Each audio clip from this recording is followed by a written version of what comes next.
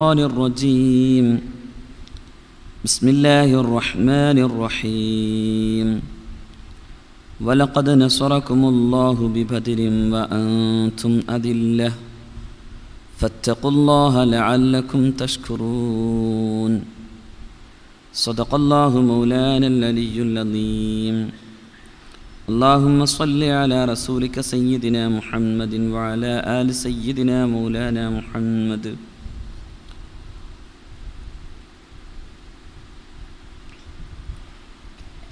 അഭിനന്ദനായ ഈ വേദിയുടെ ഉദ്ഘാടകനും സമസ്ത കേരള സുന്നി വിദ്യാർത്ഥി ഫെഡറേഷന്റെ സംസ്ഥാന അധ്യക്ഷനും കേരളീയ മുസ്ലിം സമാജത്തിന്റെ ആത്മീക നായകർ നായകരിലൊരാളുമായ വന്ദരായ പാണക്കാട് സയ്യിദ് അബ്ബാസ് അലി ശിഹാബ് തങ്ങൾ ബഹുമാന്യനായ എന്റെ സുഹൃത്ത് ഹസൻ ഫൈസി മുന്തരായ തങ്ങൾ മറ്റു വിശിഷ്ട വ്യക്തിത്വങ്ങൾ സ്നേഹമുള്ള സഹോദരന്മാരെ അസ്സലാമു അലൈക്കും വറഹമത്തല്ലാഹി വബർക്കാത്തു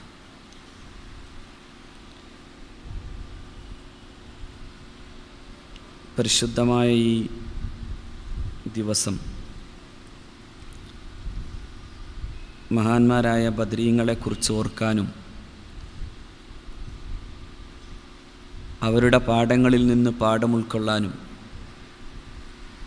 അള്ളാഹു റബ്ബുൽ ഇസ്സത്ത് നമുക്ക് തൗഫീഖ് ചെയ്യുമാറാകട്ടെ. സുഹാബുൽ ബദർ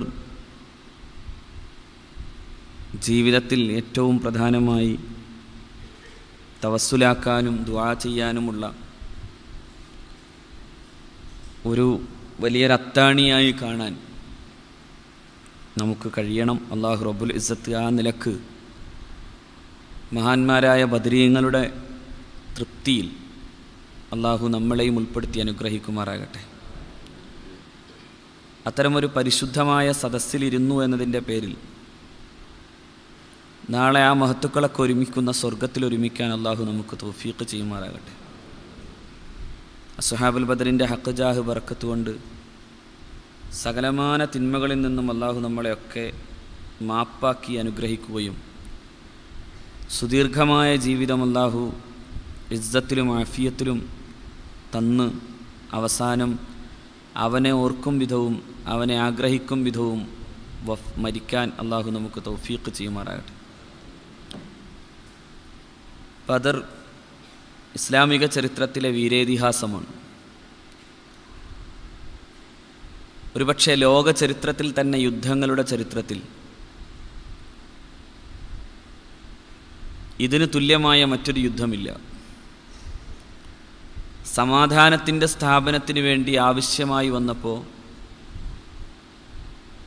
നിർബന്ധിതമായ സാഹചര്യങ്ങളിൽ നടന്ന ഒരു യുദ്ധം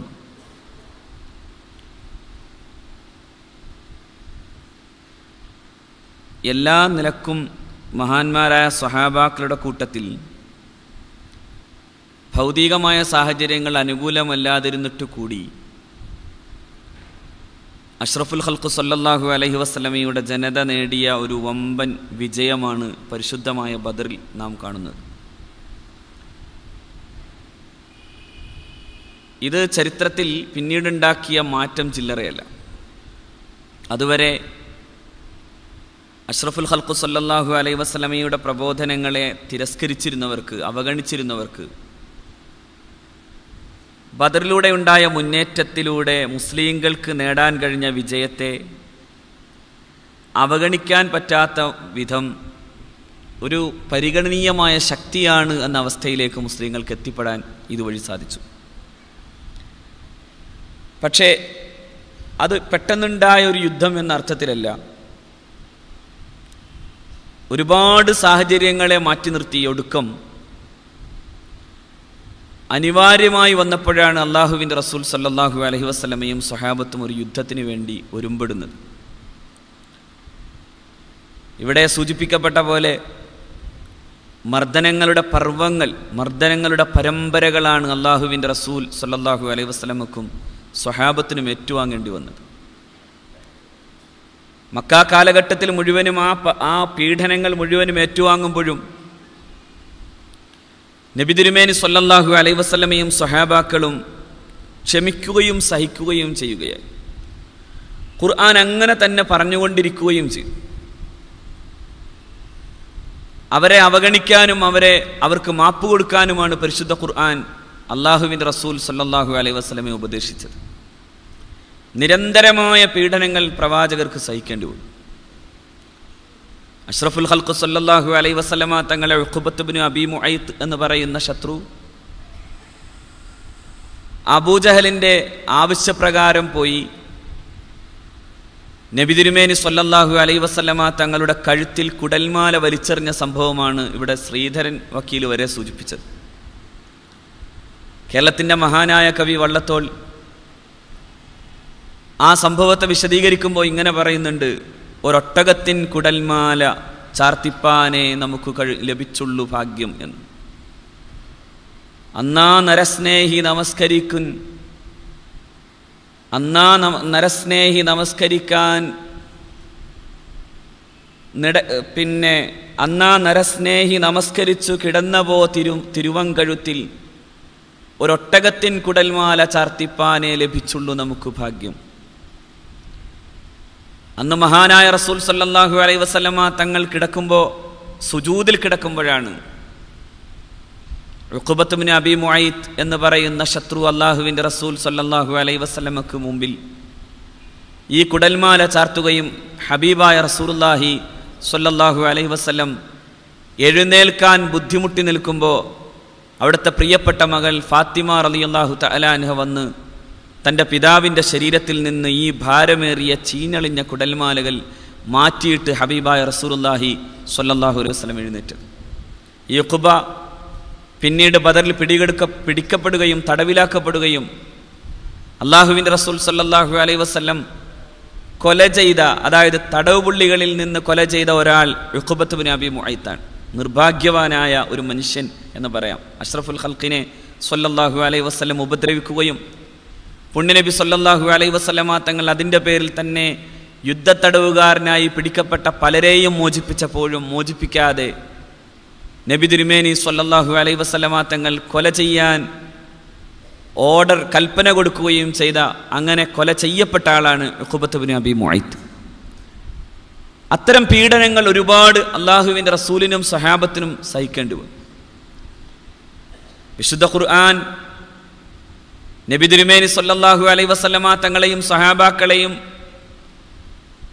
അത് ക്ഷമിക്കാനും സഹിക്കാനും പഠിപ്പിച്ചുകൊണ്ട് ഒരുപാട് ആയത്തുകൾ തന്നെ അവതരിപ്പിച്ചു അം ഹസിബത്തും അൻ തദ്ഖുലുൽ ജന്ന ولما يأتكم مثل الذين خلوا من قبلكم مستهم البأساء والضراء وزلزلوا حتى يقول الرسول والذين آمنوا معه അലാ ഇന്ന ഖരീബ്. അം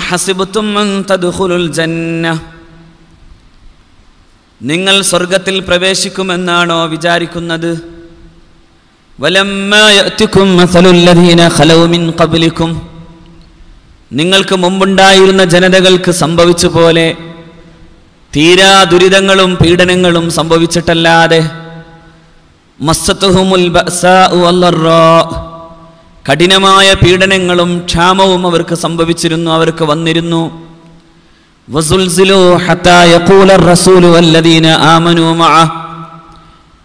അങ്ങനെ അവർ വിറകൊള്ളിക്കപ്പെട്ടു. അവരുടെ പ്രവാചകനും സത്യവിശ്വാസികളും പറയുന്നത് വരെ മത്താനസുറുല്ലാഹ് എപ്പോഴാണ് അള്ളാഹുവിന്റെ സഹായം എത്തുക? എപ്പോഴാണ് തമ്പുരാന്റെ സഹായം എത്തുക എന്നവർ പേടിച്ച് വിറകൊണ്ടൊരവസ്ഥയിൽ പരിഭ്രാന്തരായൊരവസ്ഥയിൽ അള്ളാഹുവിനോട് ചോദിച്ച സന്ദർഭം വരെ ഉണ്ടായി. അലാ ഇന്ന കരീബ് അള്ളാഹുവിന്റെ സഹായം സമീപസ്ഥമാണ് എന്ന പരിശുദ്ധ ഖുർആൻ അവതരിക്കുന്നത്. മഹാനായ ഹബ്ബാബ് റലിയല്ലാഹു തആലാൻ ഖബ്ബാബ് ഇബ്നു ലറത്ത് റളിയല്ലാഹുവൻ അഷ്റഫുൽ ഹൽക്കു സല്ലല്ലാഹു അലൈ വസല്ലമ തങ്ങളുടെ മുമ്പിൽ നബി തിരുമേനി സല്ലല്ലാഹു അലൈഹി വസല്ലമ തങ്ങളുടെ പരിശുദ്ധ മതം സ്വീകരിച്ചു എന്നതിന്റെ പേരിൽ കഠിനമായി പീഡിപ്പിക്കപ്പെട്ട ഒരാളാണ് ഉമ്മു. ഉമ്മു അന്മാർ എന്ന് പറയുന്ന സ്ത്രീയുടെ ക്രൂരയായ സ്ത്രീയുടെ അടിമയായിരുന്നു ഹബ്ബാബ് റളിയല്ലാഹുഅൻ നബി തിരുമേനി സല്ലല്ലാഹു അലൈഹി വസല്ലമ തങ്ങളെ സ്നേഹിച്ചു എന്നതിന്റെ പേരിൽ അവൾ അള്ളാഹുവിന്റെ പ്രവാചകന്റെ ഈ പ്രിയപ്പെട്ട ശിഷ്യനെ അവിടുത്തെ ശരീരത്തിൽ ചുട്ടുപഴുത്ത ഇരുമ്പുകൾ കൊണ്ട് ചൂട് പിടിപ്പിച്ചതിനു ശേഷം അവരുടെ ശരീരങ്ങളിൽ നിന്ന് മലിനമായ ജലം താഴെ വരികയും ഉരുകിയൊലിക്കുകയും മാംസം ഉരുകിയൊലിക്കുകയും ചെയ്ത സന്ദർഭമുണ്ടായപ്പോഴാണ് ഹബീബായ റസൂൽ സൊല്ലാഹു അലൈഹി വസല്ലമ തങ്ങളുടെ മുമ്പിൽ വന്നിട്ട് പുണ്യനബി സൊല്ലാഹു അലൈഹി വസല്ലമ തങ്ങളോട് നബിയെ അഫലാ തസ്തൻസുറുലനാ യാ റസൂലല്ലാഹ്? ഞങ്ങൾക്ക് വേണ്ടി അങ്ങൊന്ന് ദുആ ചെയ്യുമോ? സഹായത്തിന് വേണ്ടി തേടുമോ എന്ന് ചോദിക്കുന്ന സന്ദർഭമുണ്ട്.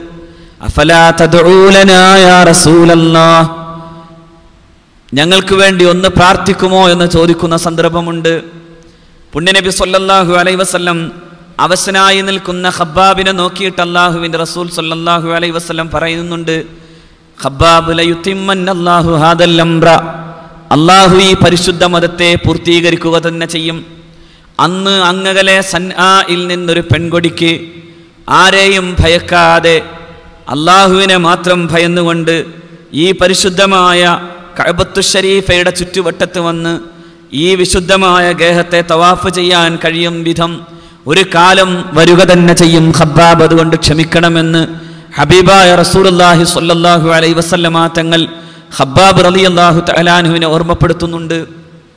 അങ്ങനെ എത്ര പീഡനങ്ങൾ ഖബ്ബാബിനെ ചുട്ടുപഴുത്ത ഇരുമ്പ് ദണ്ടുകൾ കൊണ്ട് അടിച്ചപ്പോൾ ഖബ്ബാബിനെ സഹായിക്കാനാകാതെ റസൂലല്ല പറയുമായിരുന്നു ക്ഷമിക്കണം ഖബ്ബാബ് അള്ളാഹു സഹായിക്കട്ടെ ഖബ്ബാബ് എന്ന്.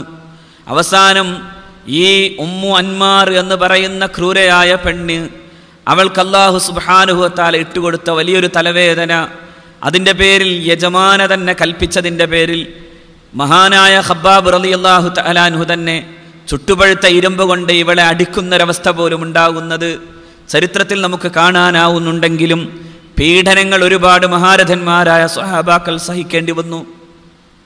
നബിയും സഹാബാക്കളും ഇത്തരം പീഡനങ്ങൾ സഹിക്കുന്ന സമയത്താണ് വിശുദ്ധ ഖുർആാന്റെ ഈ വർത്തമാനം അം ജന്ന. വെറുതെ സ്വർഗത്തിലേക്ക് പോകാനാകുമെന്നോ? വലമ്മ ഖലൗ മിൻ ഖബ്ലിക്കും. നിങ്ങൾക്ക് മുമ്പ് പോയിരുന്ന സമൂഹങ്ങൾക്ക് സംഭവിച്ചതുപോലെയൊക്കെ സംഭവിക്കാതെ അഷ്റഫുൽ ഹൽക്ക് ഹബ്ബാബിനോടും ഇത് തന്നെ പറയുന്നുണ്ട്.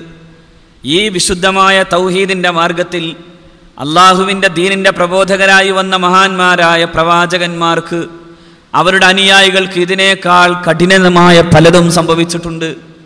കുത്തില അസ്ഹാബുൽ ഖുദൂദ് അന്നാരി ദാത്തിൽ വഖൂദ് അലൈഹ. കുത്തില അസ്ഹാബുൽ ഖുദൂദ്. അടുപ്പിന്റെ ആളുകൾ അവർ നശിപ്പിക്കപ്പെടട്ടെ അവർ കൊല്ലപ്പെടട്ടെ അവർക്ക് അവർ ശപിക്കപ്പെടട്ടെ അവർ അഗ്നികുണ്ടങ്ങൾ ഉണ്ടാക്കി മുഗ്മിനീങ്ങളായ ആളുകളെ ശിക്ഷിച്ചതിന്റെ കഥയാണ് പരിശുദ്ധ ഖുർആൻ പറഞ്ഞു വച്ചത്. അതിന്റെ ആ ആ അഗ്നികുണ്ടങ്ങൾ കാവലിരിക്കുകയും എന്നിട്ട് ആ അഗ്നികുണ്ടങ്ങളിൽ മഹാന്മാരായ പ്രബോധകരായ അള്ളാഹുവിന്റെ പ്രവാചകന്മാരുടെ അനുയായികളെ നശിപ്പിക്കാൻ ആ അഗ്നികുണ്ഡങ്ങളിലേക്ക് എറിയുകയും ചെയ്ത കഥ പറയുന്നുണ്ട് ഖുർആൻ. ഇത്തരമുള്ള സംഭവങ്ങൾ പ്രവാചകൻ സല്ലല്ലാഹു അലൈഹി വസല്ലം മഹാനായ ഖബ്ബാബ് റളിയല്ലാഹു തലാൻഹുവിനെ ഓർമ്മപ്പെടുത്തിയിട്ട് പുണ്യനബി സല്ലല്ലാഹു അലൈഹി വസല്ലം സമാധാനിക്കാൻ വേണ്ടിയാണ് മഹാന്മാരായ സ്വഹാബാക്കളെ ബോധ്യപ്പെടുത്തിയത്. പത്ത് കൊല്ലക്കാലം ഇങ്ങനെ മക്കാ കാലഘട്ടത്തിൽ മുഴുവനും സഹിച്ചും ക്ഷമിച്ചുമാണ് മഹാന്മാരായ സ്വഹാബാക്കൾ നബി തിരുമേനി സൊല്ലാഹു അലൈഹി വസല്ലമ തങ്ങളുടെ കൂടെ ഇരുന്നത് പത്ത് കൊല്ലം. യാതൊരു തരത്തിലുമുള്ള ഒരു ഒരു പ്രതിരോധവും നബി തിരുമേനി സൊല്ലാഹു അലൈഹി വസ്ലം ആലോചിച്ചിട്ടില്ല. അവസാനം മദീനയിൽ നിന്ന് മദീനയിലേക്കുള്ള പലായന സമയത്താണ് ഖുർആൻ ഉദിനലില്ലദീന യുഖാത്തലൂ നബി അന്നഹും ലൊലിമു എന്ന ആയത്ത് കൊണ്ടുവരുന്നത്. മഹാനായ ഇബിൻ അബ്ബാസ് റളിയല്ലാഹു താലാന്ന് പറയുന്നുണ്ട് ഉദിനലില്ലദീന യുഖാത്തലൂ നബി അന്നഹും ലൊലിമു എന്ന ആയത്ത് വരുന്നത് മദീനയിലേക്കുള്ള പലായന സമയത്താണ്. സിദ്ദീഖ് റളിയല്ലാഹു അള്ളാഹു താലാനൊക്കെ പറയുന്നത് യുദ്ധം ഏതാണ്ട് ആസന്നമായി അതിനു മുമ്പുള്ള സമയത്തൊന്നും യുദ്ധത്തെക്കുറിച്ചൊന്നും പറയപ്പെട്ടിട്ടേ ഇല്ല പക്ഷേ മദീനയിൽ വന്നിട്ടും മദീനയിലെ ഇസ്ലാമിക സ്ഥാപനത്തെ നബി തിരുമേനി സല്ലല്ലാഹു അലൈഹി വസല്ലമ തങ്ങൾ ആലോചിക്കുമ്പോഴും ഒരു ഭാഗത്ത് നബി തിരുമേനിയെ ആക്രമിക്കാനും ഈ പരിശുദ്ധമായ ദീനിനെതിരായി നീങ്ങാനും വേണ്ടി മക്കയിൽ നിന്ന് കച്ചവടാർത്ഥം പോവുകയും കച്ചവടത്തിന്റെ ലാഭങ്ങൾ മുഴുവനും മുതൽക്കൂട്ടാക്കി മാറ്റി അഷ്റഫുൽ ഹൽക്കു സല്ലാഹു അലൈ വസ്ലമാ തങ്ങളെയും സഹാബത്തിനെയും എതിർക്കാൻ വേണ്ടി തീരുമാനമെടുക്കുന്ന കുറൈശികൾക്കെതിരെ ഏതെങ്കിലും അർത്ഥത്തിൽ ഒരു ഒരു ഒരു മറുമരുന്ന് കൊടുത്തിട്ടില്ലെങ്കിൽ അത് ഇസ്ലാമികമായ സ്ഥാപനത്തിനും പരിശുദ്ധമായ ദീനിന്റെ നിലനിൽപ്പിനും അത് ഹാനിയാകും എന്ന് മനസ്സിലാക്കിയപ്പോഴാണ് ഹബീബായ റസൂർല്ലാഹി സല്ലാഹു അലൈഹി വസല്ലമ തങ്ങൾ ഒരു യുദ്ധത്തെക്കുറിച്ച് ആലോചിക്കുന്നത്. ഒന്നാമത്തെ യുദ്ധം പരിശുദ്ധ പ്രവാചകൻ സല്ലല്ലാഹു അലൈഹി വസല്ലം ബദർ ആദ്യത്തെ സംഭവമല്ല. ചെറിയ ചെറിയ ചെറിയ യുദ്ധങ്ങൾ അള്ളാഹുവിന്റെ റസൂൽ സല്ലല്ലാഹു അലൈഹി വസല്ലമയുടെ സ്വഹാബാക്കളെ വിട്ട് നബിദിനുമേനി സല്ലാ വസല്ലമ തങ്ങൾ ചെയ്തിട്ടുണ്ട്. ചെറിയ യുദ്ധങ്ങൾ എന്ന് പറയാനാവൂല. ചെറിയ സൈനിക സംഘങ്ങളെ വിട്ട് ഈ ഈ മദീന വഴി പോകുന്ന മക്ക മുസ്ലിക്കുകൾ സിറിയയിൽ നിന്ന് കച്ചവടം ചെയ്തു കൊണ്ടുവരുന്ന സമ്പത്ത് അത് തങ്ങളുടെ തന്നെ വിഹിതമായതുകൊണ്ട് അത് വാങ്ങാനും അങ്ങനെ അവരുടെ നീക്കങ്ങൾ അറിയാനും അള്ളാഹുബിൻ റസൂൽ സല്ലാഹു അലൈഹി വസല്ലമ തങ്ങൾ പലപ്പോഴും സഹാബാക്കളെ വിട്ടിട്ടുണ്ട്. ഹിജ്റ ഒന്നിന് നബി തിരുമേനി സല്ലല്ലാഹു അലൈഹി വസല്ലമ തങ്ങൾ മഹാനായ ഹംസാർ അലി അള്ളാഹു തലാൻഹുവിന്റെ നേതൃത്വത്തിൽ ഒരു മുപ്പതംഗ സംഘത്തെ അയച്ചിരുന്നു റമദാനിൽ തന്നെ. പരിശുദ്ധ റമദാനിലാണ് ഹിജ്റ ഒന്നിന് മഹാനായ ഹംസാർ അലി അള്ളാഹു തലാനുവിന്റെ നേതൃത്വത്തിൽ അയച്ചത്. സരിയത്തു ഹംസ എന്ന പേരിൽ അറിയപ്പെടുന്ന നബി തിരുമേനി അലൈ അലൈഹി വസല്ലമ തങ്ങളില്ലാത്ത കൊച്ചു സൈനിക സംഘമാണ് സരിയത്ത് എന്ന പേരിൽ അറിയപ്പെടുന്നത്. അത്തരം ഒരു സരിയത്തിന്റെ നേതാവായി മഹാനായ ഹംസാർ അലി അള്ളാഹു താലാനുവിനെ ഏൽപ്പിച്ചു. അന്ന് അബൂജഹൽ അടക്കമുള്ള മുന്നൂറംഗ സംഘം സിറിയയിൽ നിന്ന് വരുന്നു എന്നറിഞ്ഞപ്പോഴാണ് നബി തിരുമേനി സല്ലല്ലാഹു അലൈഹി വസല്ലമ തങ്ങൾ അവരെ നേരിടാൻ വേണ്ടി അള്ളാഹുവിന്റെ പ്രവാചകൻ മഹാനായ ഹംസാർ അലി അള്ളാഹു താലാനുവിനെ ഏൽപ്പിച്ചത്. ഹംസയും കൂട്ടരും നേർക്ക് നേരെ അതായത് അബൂജഹലിനെ മുന്നൂറോളം വരുന്ന ഈ അബൂജഹൽ സംഘത്തെ നേർക്ക് നേരെ കാണുകയും അവിടെ വെച്ചൊരു യുദ്ധം തുടങ്ങാനുള്ള സാധ്യത ഉണ്ടാവുകയും ചെയ്ത സമയത്ത് മജീദ് ബിൻ അംറിൽ ജുഹമി എന്ന് പറയുന്ന മധ്യസ്ഥന്റെ ഒത്തുതീർപ്പിൽ മഹാനായ ഹംസാർ അലി അള്ളാഹു തലാൻഹു ആ യുദ്ധം അതായത് അങ്ങനെ ഒരു യുദ്ധം നടത്താതെ തിരിച്ചു പോരുകയും ചെയ്ത സന്ദർഭമുണ്ട്. മറ്റൊരവസരത്തിൽ മഹാനായ റുബൈദത്ത് ബിൻ അൽ ഹാരിഫ് അലി അള്ളാഹു തലാൻഹുവിന്റെ സംഘം അതേ വർഷം തന്നെ ഷവ്വാലിൽ അറുപതംഗ സംഘം ജുഹഫക്ക് സമീപം വെച്ച് അബൂ സുഫിയാനുമായി നേരിടുന്നുണ്ട്. അതും ഇതുപോലെ ഒരു ചെറിയ ഒരു ഒരു അമ്പെയ്ത്തും മറ്റും മാത്രമായി അവസാനിച്ചു പോവുകയും ചെയ്യുന്നുണ്ട്. മഹാനായ സഅദ് ബിൻ അബി വഖാസ് റലി അള്ളാഹു തലാൻഹു അന്ന് ആദ്യമായി ഇസ്ലാമിക ചരിത്രത്തിൽ തന്നെ ആദ്യം അമ്പെയ്താൽ മഹാനായ സഅദ് ബിൻ അബി വഖാസ് ആണ് റലി അള്ളാഹു സഅദ് ബിൻ അബി വഖാസ് റലി അള്ളാഹു തലാൻഹു ശത്രുക്കൾക്കെതിരെ അമ്പെയ്യുകയും എന്നാൽ ആരും അങ്ങനെ കാര്യമായി പരിക്കുകൾ പറ്റി എന്നല്ലാതെ വേറെ മറ്റ് കാര്യങ്ങളും പ്രശ്നങ്ങളും ഇല്ലാതെ അതും ഇതുപോലെ ഒരു ഒത്തുതീർപ്പിൽ അവസാനിച്ചു പോരുന്നതും നമുക്ക് കാണാൻ സാധിക്കും. മറ്റൊരു യുദ്ധം സഅദുബിന് അബി വക്കാസ് അലി അള്ളാഹു താലാനു നേതൃത്വത്തിൽ അടുത്ത വർഷത്തിൽ നടക്കുന്ന യുദ്ധമാണ്. ഹിജറയുടെ രണ്ടാം വർഷത്തിൽ തന്നെയാണ് ഈ സംഭവം നടക്കുന്നത്. ഇതും ഇതുപോലെ തന്നെ വലിയ പ്രശ്നങ്ങളില്ലാതെ അവസാനിച്ചു പോകും. പിന്നീട് നടക്കുന്നത് അബ്ദുല്ലാഹിബിന് ജഹ്ഷർ അലി അള്ളാഹു താലാൻഹു ഇതുപോലൊരു നിരീക്ഷണത്തിന് വേണ്ടി മഹാനായ അബ്ദുല്ലാഹിബിന് ജഷർ അലി അള്ളാഹു താലാനുവിനെ ഏൽപ്പിച്ചപ്പോൾ അബ്ദുല്ലാഹിബിന് ജഷർ അലി അള്ളാഹു താലാനുഹു ശത്രുക്കളെ കണ്ടുമുട്ടിയപ്പോൾ അവിടെ വച്ചുണ്ടായ യുദ്ധത്തിൽ വച്ച് അംബ്രുബിൻ ഹലറമി എന്ന് പറയുന്ന ശത്രു കൊല്ലപ്പെടുകയും അത് കുറേശികളെ സംബന്ധിച്ചിടത്തോളം വലിയ പ്രശ്നമായി തീരുകയും ചെയ്ത ഒരു യുദ്ധത്തിലേക്ക് മുന്നിടേണ്ടി വരുന്ന ഒരു സാഹചര്യം ഉണ്ടാകുന്നത് ഇവിടെ വച്ചാണ്. ഈ ഒരു സാഹചര്യത്തിലാണ് അള്ളാഹുവിന്റെ പ്രവാചകൻ സൊല്ലാഹു അലൈ വസ്ലമാ തങ്ങൾ മദീനയിൽ നിന്ന് ഒരു ഒരു സംഘം കച്ചവടക്കാരെ പിടികൂടാനും അവരിൽ നിന്ന് തങ്ങൾക്ക് അർഹമായത് വാങ്ങിയെടുക്കാനും വേണ്ടിയുള്ള ഒരു യാത്രയായി മദീനയിൽ നിന്ന് ബദറിലേക്ക് അള്ളാഹുവിൻ റസൂൽ സല്ലാഹു അലൈഹി വസ്ലമാ തങ്ങൾ പോകുന്നു. ആദ്യ നടന്ന ഈ ചില്ലറ ചില്ലറ ചെറിയ ചെറിയ സംഭവങ്ങൾക്ക് ശേഷം നബി തിരുമേനി സല്ലല്ലാഹു അലൈഹി വസല്ലമ തങ്ങൾ നേതൃത്വം കൊടുക്കുന്ന ബദർ ഒരുങ്ങുന്നത് ഇങ്ങനെയാണ്. ഹിജ്റ രണ്ടാം വർഷത്തിന്റെ റമദാനിന്റെ എട്ട് പന്ത്രണ്ട് ഇവകൾക്കിടയിൽ വെച്ചാണ് അള്ളാഹുവിൻ റസൂൽ സല്ലാഹു അലൈ വസല്ലമ തങ്ങളും മുന്നൂറ്റി ചില്ലുവാനും വരുന്ന മഹാന്മാരായ സ്വഹാബാക്കളും അഷ്റഫുൽ ഹൽഖു സല്ലാഹു അലൈ വസല്ലമ തങ്ങളുടെ നേതൃത്വത്തിൽ ബദറിലേക്ക് നീങ്ങുന്ന സന്ദർഭം ഉണ്ടാകുന്നത് ഇവിടെ വെച്ചാണ്. ഈ മഹാനായ അബ്ദുല്ലാഹിബിനുൽ ജഹ്ഷിം പിന്നെ ജഹ്ഷർ അലി അള്ളാഹു താലാൻഹു അദ്ദേഹത്തിന്റെ നേതൃത്വത്തിൽ നടന്ന യുദ്ധത്തിൽ അമ്രുബിൻ ഹലറമി കൊല്ലപ്പെട്ടതിന്റെയൊക്കെ വൈരാഗ്യം തീർക്കാൻ ശത്രുക്കൾ കാര്യമായി ഒരുങ്ങാൻ ഇതൊരു ഒരു ഒരു ഒരു കാരണമായി തീരുകയും അഷ്റഫുൽ ഹൽഖു സല്ലാഹു അലൈഹി വസല്ലമ തങ്ങൾ അങ്ങനെ ബദറിൽ ചെല്ലുകയും ചെയ്യുന്നത് ഈ ഒരു സാഹചര്യത്തിലാണ്. ബദറിൽ അള്ളാഹുവിന്റെ റസൂൽ സല്ലാഹു അലൈഹി വസ്ലമ തങ്ങൾ ചെല്ലുന്നത് അള്ളാഹുവിന്റെ പ്രത്യേകമായ വാഗ്ദാന പ്രകാരമാണ്. ഒന്നുകിൽ കച്ചവടക്കാർ അല്ലെങ്കിൽ ഒരു യുദ്ധം. രണ്ടാലൊരു വാഗ്ദാനാണ് പരിശുദ്ധ ഖുർആൻ നബിതിരുമേനി സല്ലാഹു അലൈഹി വസ്ലമക്ക് നൽകിയത്. ഒന്നുകിൽ കച്ചവട സംഘത്തെ പിടികൂടുകയും കച്ചവട സംഘത്തിൽ നിന്ന് ആവശ്യമായത് വാങ്ങുകയും ചെയ്യുന്ന സാഹചര്യം. ഇതല്ലെങ്കിൽ ഒരു വിഭാഗം ശത്രുക്കളോട് ഏറ്റുമുട്ടുന്ന യുദ്ധം. ഈ രണ്ടാലൊരു സാഹചര്യം ഉണ്ടാകും എന്ന നിലയ്ക്ക് നബി നബിതിരുമേനി സല്ലാഹു അലൈഹി വസ്ലമയും സഹാബാക്കളും ബദറിലെത്തും. ബദറിൽ നബി തിരുമേനി സല്ലല്ലാഹു അലൈഹി വസ്ലമയും സഹാബാക്കളും ചെല്ലുമ്പോഴാണ് അങ്ങ് സുഫി അബു സുഫിയാനും ആളുകളും ഈ സംഭവം അറിയുകയും അബു സുഫിയാൻ ഇതറിഞ്ഞ് കച്ചവട സംഘത്തെ വളരെ ആസൂത്രിതമായി കൊണ്ട് രക്ഷപ്പെടുകയും ചെയ്തിട്ടാണ് അബൂജഹലും കുട്ടരും ആയിരത്തിൽ ചില്ലുവാനും വരുന്ന അനുയായികളുമായി പരിശുദ്ധമായ ബദറിലേക്കായി അതായത് യുദ്ധത്തിനായി അബൂജഹലും കൂട്ടരും പോരുന്നത്. ഇവിടെ കുറേ സാഹചര്യങ്ങൾ ഇങ്ങനെയുണ്ട്. അബൂജഹൽ പോരുന്നതിന് മുമ്പ് തന്നെ ഇങ്ങനൊരു യുദ്ധവും ഭീകരതയും ഉണ്ടാകാനുള്ള സാധ്യതയെക്കുറിച്ചൊക്കെ അവിടെ സ്വപ്നങ്ങൾ കണ്ടിരുന്നു. മഹദി ആത്തിഖാബീബ് അലി അള്ളാഹു താലാൻഹ അബ്ബാസ് അലി അള്ളാഹു താലാന്റെ സഹോദരി അഷ്റഫുൽ ഖൽഖു സല്ലാഹു അലൈഹി വസ്ലമ തങ്ങളുടെ പ്രിയപ്പെട്ട അമ്മായി ആത്തിഖാബീബ് അലി അള്ളാഹു താലാൻഹ മക്കയിൽ വെച്ച് കണ്ട ഒരു സ്വപ്നം അവിടെ തന്നെ അന്ന് ചർച്ച ചെയ്യപ്പെട്ടതാണ്.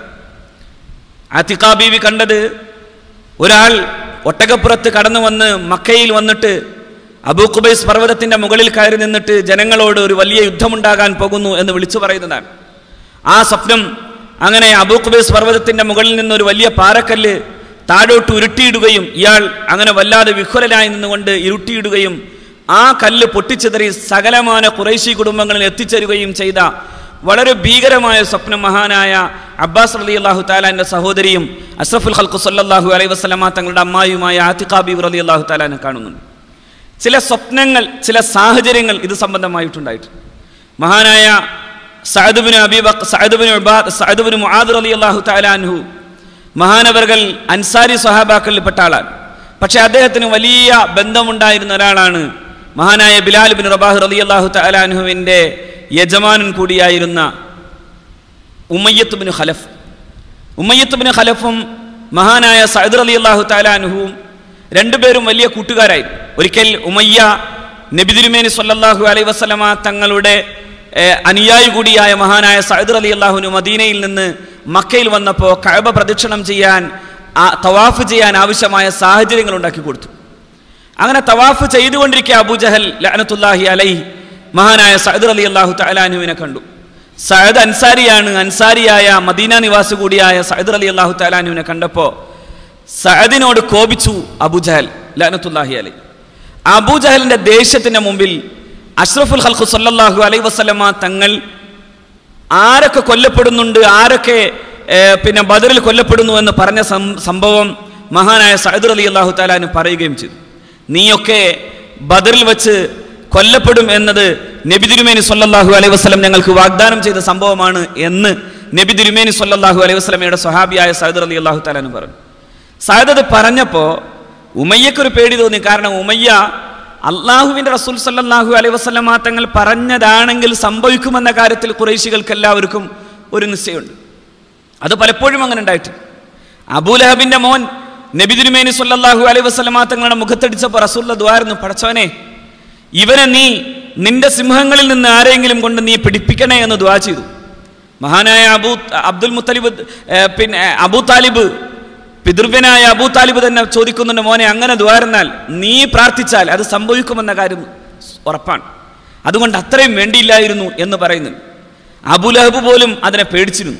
അവസാനം ഇവൻ സിറിയയിലേക്ക് പോകുന്ന സമയത്ത് ഷാമിലേക്കുള്ള യാത്രയിൽ ഇവൻ തന്നെ കൃത്യമായി ആളുകളെ മുഴുവനും ഒരുക്കി തയ്യാറാക്കി. ഒരിക്കലും ഒരു സിംഹമോ നരിയോ ഒന്നും വരാതിരിക്കാൻ കഴിയും വിധം ആളുകൾക്കിടയിൽ ആരും അറിയാതെ കിടന്നിരുന്നു. പക്ഷേ അവനെ അള്ളാഹു സുബാനുഹുവത്താല പറഞ്ഞയച്ച സിംഹം കൊണ്ടുവന്ന് വലിച്ചു കൊണ്ടുപോയി അവനെ കൊന്നുകളഞ്ഞു എന്നത് ചരിത്രമാണ് അതുകൊണ്ട് തന്നെ ഉമയ്യത്തുബിന് ഖലഫിന് പേടി തോന്നി. ഉമയ്യത്തുബിന് ഖലഫ് സഹദർ അലി അള്ളാഹു താലാനോട് ചോദിച്ചു എന്താണ്?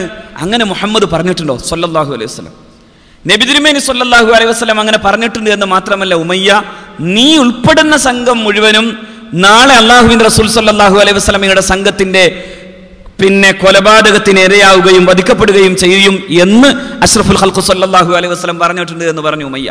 അതുകൊണ്ട് എന്താ ഉണ്ടായെന്ന് വെച്ചാൽ ഈ രണ്ട് സംഭവങ്ങൾ ഉണ്ടായതുകൊണ്ട് തന്നെ മദീനയിലേക്കുള്ള യാത്രയിൽ ഉമയ്യ ഉൾപ്പെടെയുള്ള ഒരുപാട് ആളുകൾ പിന്തി നിന്നിരുന്നു എന്നത് സത്യമാണ്. ആയിരക്കണക്കിന് ആളുകളെ ഒരുക്കാൻ അബൂജഹൽ തീരുമാനമെടുക്കുകയും എല്ലാ വീറും വാശിയും ഉണ്ടാക്കിയെടുക്കാനുള്ള ശ്രമമൊക്കെ നടക്കുമ്പോഴും ഒരു പറ്റം ആളുകൾക്ക് പേടി തോന്നി. അതിലൊരാളായിരുന്നു ഉമയ്യ.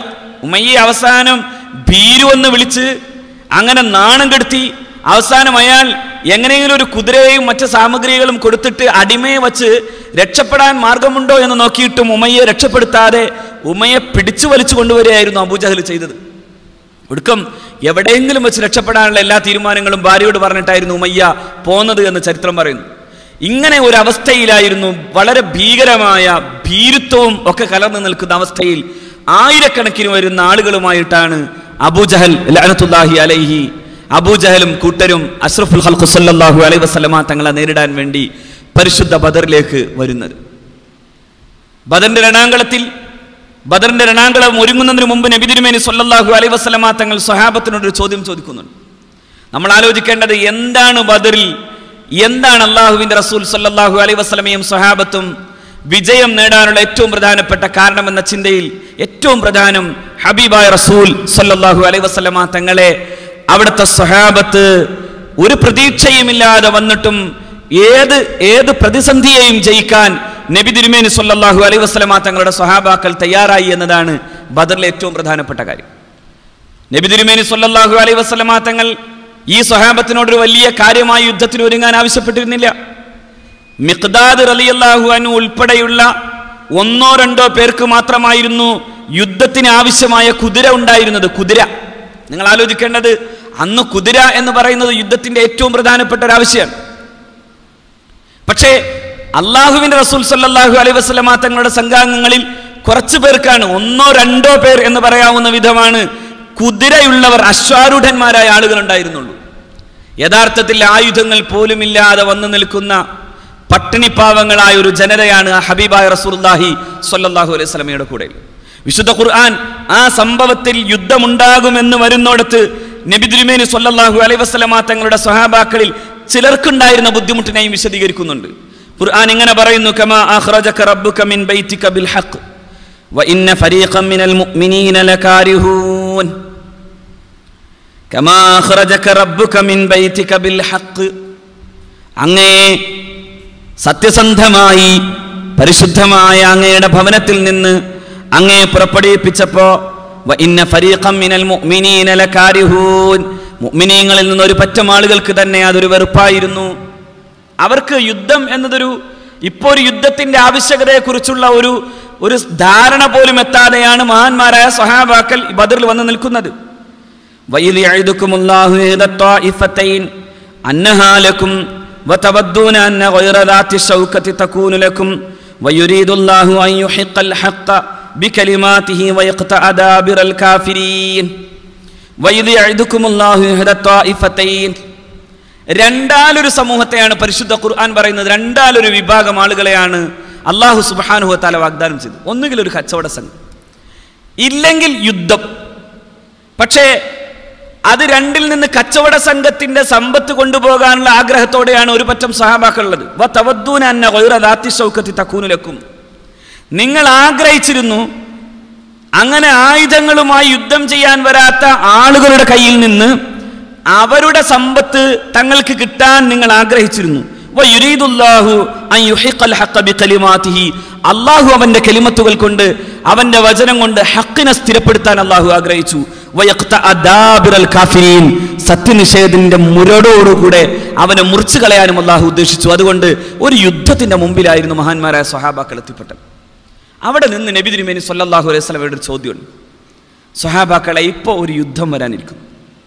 നിങ്ങളെന്ത് നിലപാടെടുക്കും എന്ന് നബി തിരുമേനി സൊല്ലാഹു അലൈഹി വസ്ലം അള്ളാഹുവിന്റെ പ്രവാചകരോട് ചോദിക്കുന്നുണ്ട്. സുദീഖുൽ അക്ബർ അലി അള്ളാഹു താലാനു എഴുന്നേറ്റ് നിന്നുകൊണ്ട് പറയുന്നു നബിയെ അങ്ങ് മുന്നോട്ട് പോയാലും അങ്ങയുടെ കൂടെ നിന്നുകൊണ്ട് ഏത് യുദ്ധവും ജയിക്കാൻ ഞങ്ങൾ തയ്യാറാണ്. നബി തിരുമേനി സല്ലല്ലാഹു അലൈഹി വസല്ലം പറഞ്ഞു നല്ലത് ഇരിക്കാം. ഉമർ ഖത്താബ് റളിയല്ലാഹു പറഞ്ഞു നബി തിരുമേനി സല്ലല്ലാഹു അലൈഹി വസല്ലമ തങ്ങൾ അവരെ ഒന്നും ചെവി കൊടുക്കുന്നില്ല. മിഖ്ദാദ് റളിയല്ലാഹു തആലാനു എഴുന്നേറ്റു. മിഖ്ദാദ് അള്ളാഹുവിന്റെ പ്രവാചകൻ സല്ലല്ലാഹു അലൈഹി വസല്ലമ തങ്ങളോട് പറഞ്ഞു അള്ളാഹുവിന്റെ പ്രവാചകരെ ഖാല യാ റസൂലല്ലാ അങ്ങക്ക് അള്ളാഹു എന്താണോ കാട്ടിത്തന്നത് അതനുസൃതമായി മുന്നോട്ട് പോവുക. ഫനഹ്നു ഞങ്ങൾ അങ്ങയുടെ കൂടെ ഉണ്ടാകും വല്ലാഹി ലാ നഖൂലു ലക കമാ ഖാല ബനു ഇസ്രായീലി ബനു ഇസ്രായീൽ അലി മൂസ. മൂസ നബി അലൈഹി സ്വലാത്തു വസ്സലാമിനോട് ബനു ഇസ്രായേലർ പറഞ്ഞതുപോലെ ഞങ്ങൾ പറയില്ല. എന്താ മൂസ നബിയോട് പറഞ്ഞത്? ഇദ്ഹബ് അന്ത റബ്ബുക ഫഖാതില ഇന്നാ ഹാഹുനാ ഖാഇദൂൻ. പലസ്തീനിൽ പോയി അവിടെയുള്ള ധിക്കാരികളായ ആളുകളുമായി ഏറ്റുമുട്ടാൻ വേണ്ടി അള്ളാഹുവിന്റെ പ്രത്യേകമായ കൽപ്പന വന്നപ്പോ പലസ്തീനിലേക്ക് കടക്കാൻ നേരത്ത് മഹാനായ മുസ്നബി അലൈഹി സ്വലാത്തു വസ്സലാം അവിടെയുള്ള ജബ്ബാറുകളായ ആളുകളോട് ഏറ്റുമുട്ടാൻ ആവശ്യപ്പെട്ടപ്പോ അന്ന് ആ ജനത പറഞ്ഞൊരു വർത്തമാനമുണ്ട്. നിങ്ങൾ രണ്ടുപേരും പോയിക്കോളൂ. അതായത് നീയും നിന്റെ റബ്ബും പോയിക്കോളൂ. ഇദ്ഹബ് അന്തവ റബ്ബുക്ക നീയും നിന്റെ റബ്ബും പോയിക്കോളൂ. ഫഖാത്തില എന്നിട്ട് നിങ്ങൾ രണ്ടുപേരും യുദ്ധം ചെയ്തോളൂ.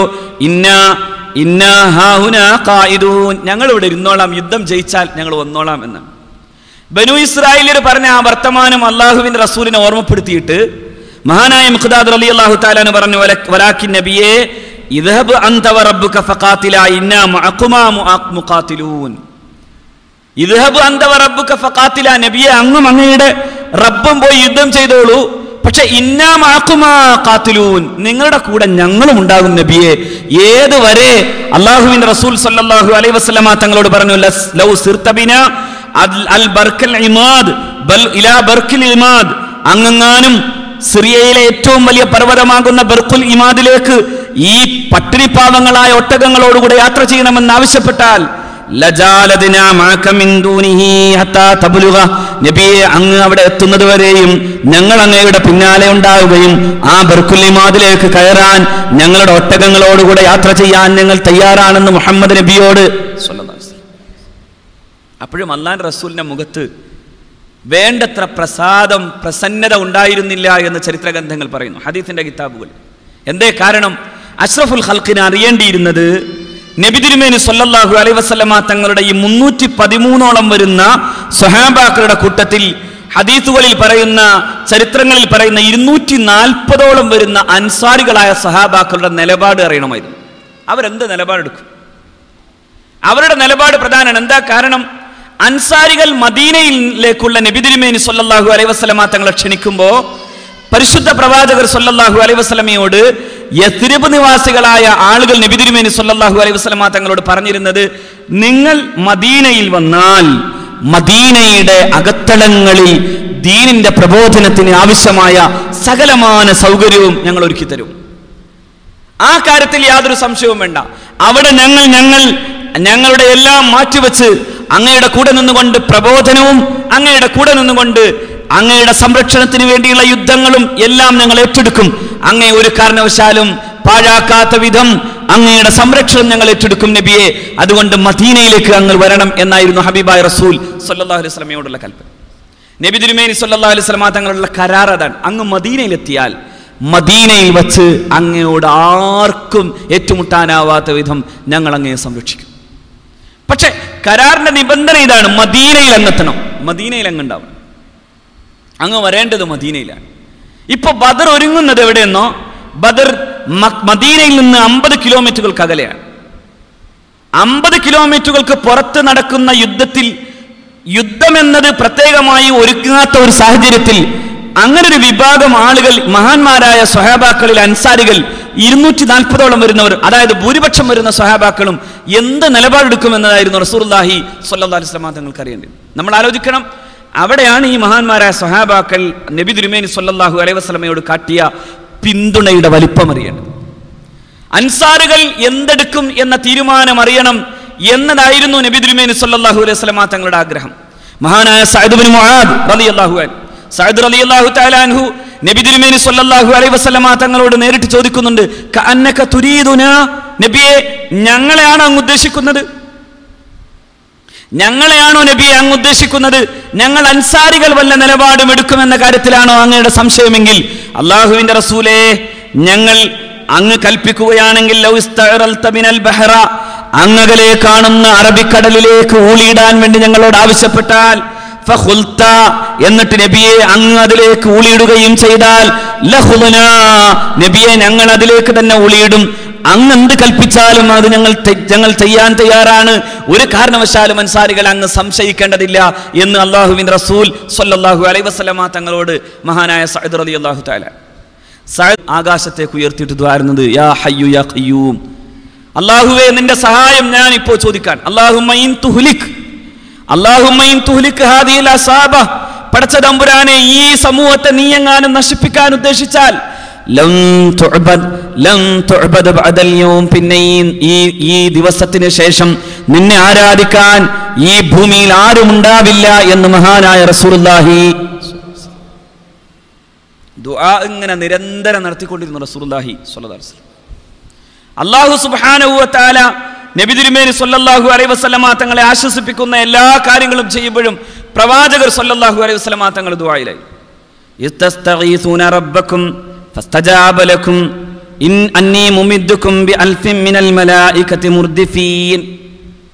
അള്ളാഹു റബ്ബുൽ ഇസ്സത്ത് ആയിരം മലക്കുകളെ വിട്ടു. ആയിരം മലക്കുകളെ. ജിബ്രീൽ അലൈഹി സ്വലാത്തു വസ്സലാമിന്റെ നേതൃത്വത്തിൽ ആയിരത്തോളം വരുന്ന മലക്കുകൾ നബി തിരുമേനി സൊല്ലാഹു അലൈഹി വസല്ലമ തങ്ങളെയും സഹാബത്തിനെയും സഹായിക്കാൻ വേണ്ടി അവിടെ അവതരിക്കപ്പെട്ടു.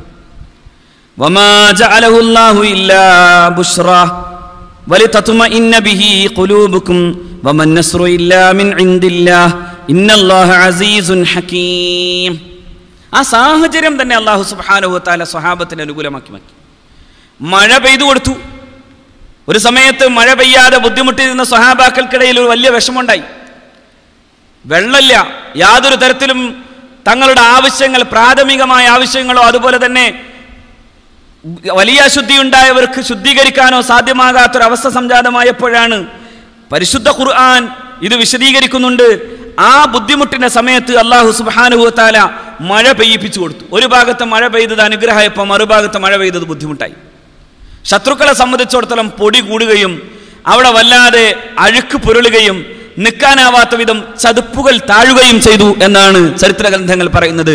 ഒരു ഭാഗത്ത് നബി തിരുമേനി സല്ലാഹു അലൈഹി വസ്ലമയുടെ സഹാബാക്കൾക്ക് മഴ കൊണ്ട് വലിയ അർത്ഥത്തിലുള്ള ലാഭം ലഭിക്കപ്പെട്ടു. വെള്ളം കുടിക്കാനായി അവരുടെ ശുദ്ധീകരണത്തിനായി അവർക്ക് അല്പം അത് ശേഖരിച്ചു വെക്കാനായി. ഇത്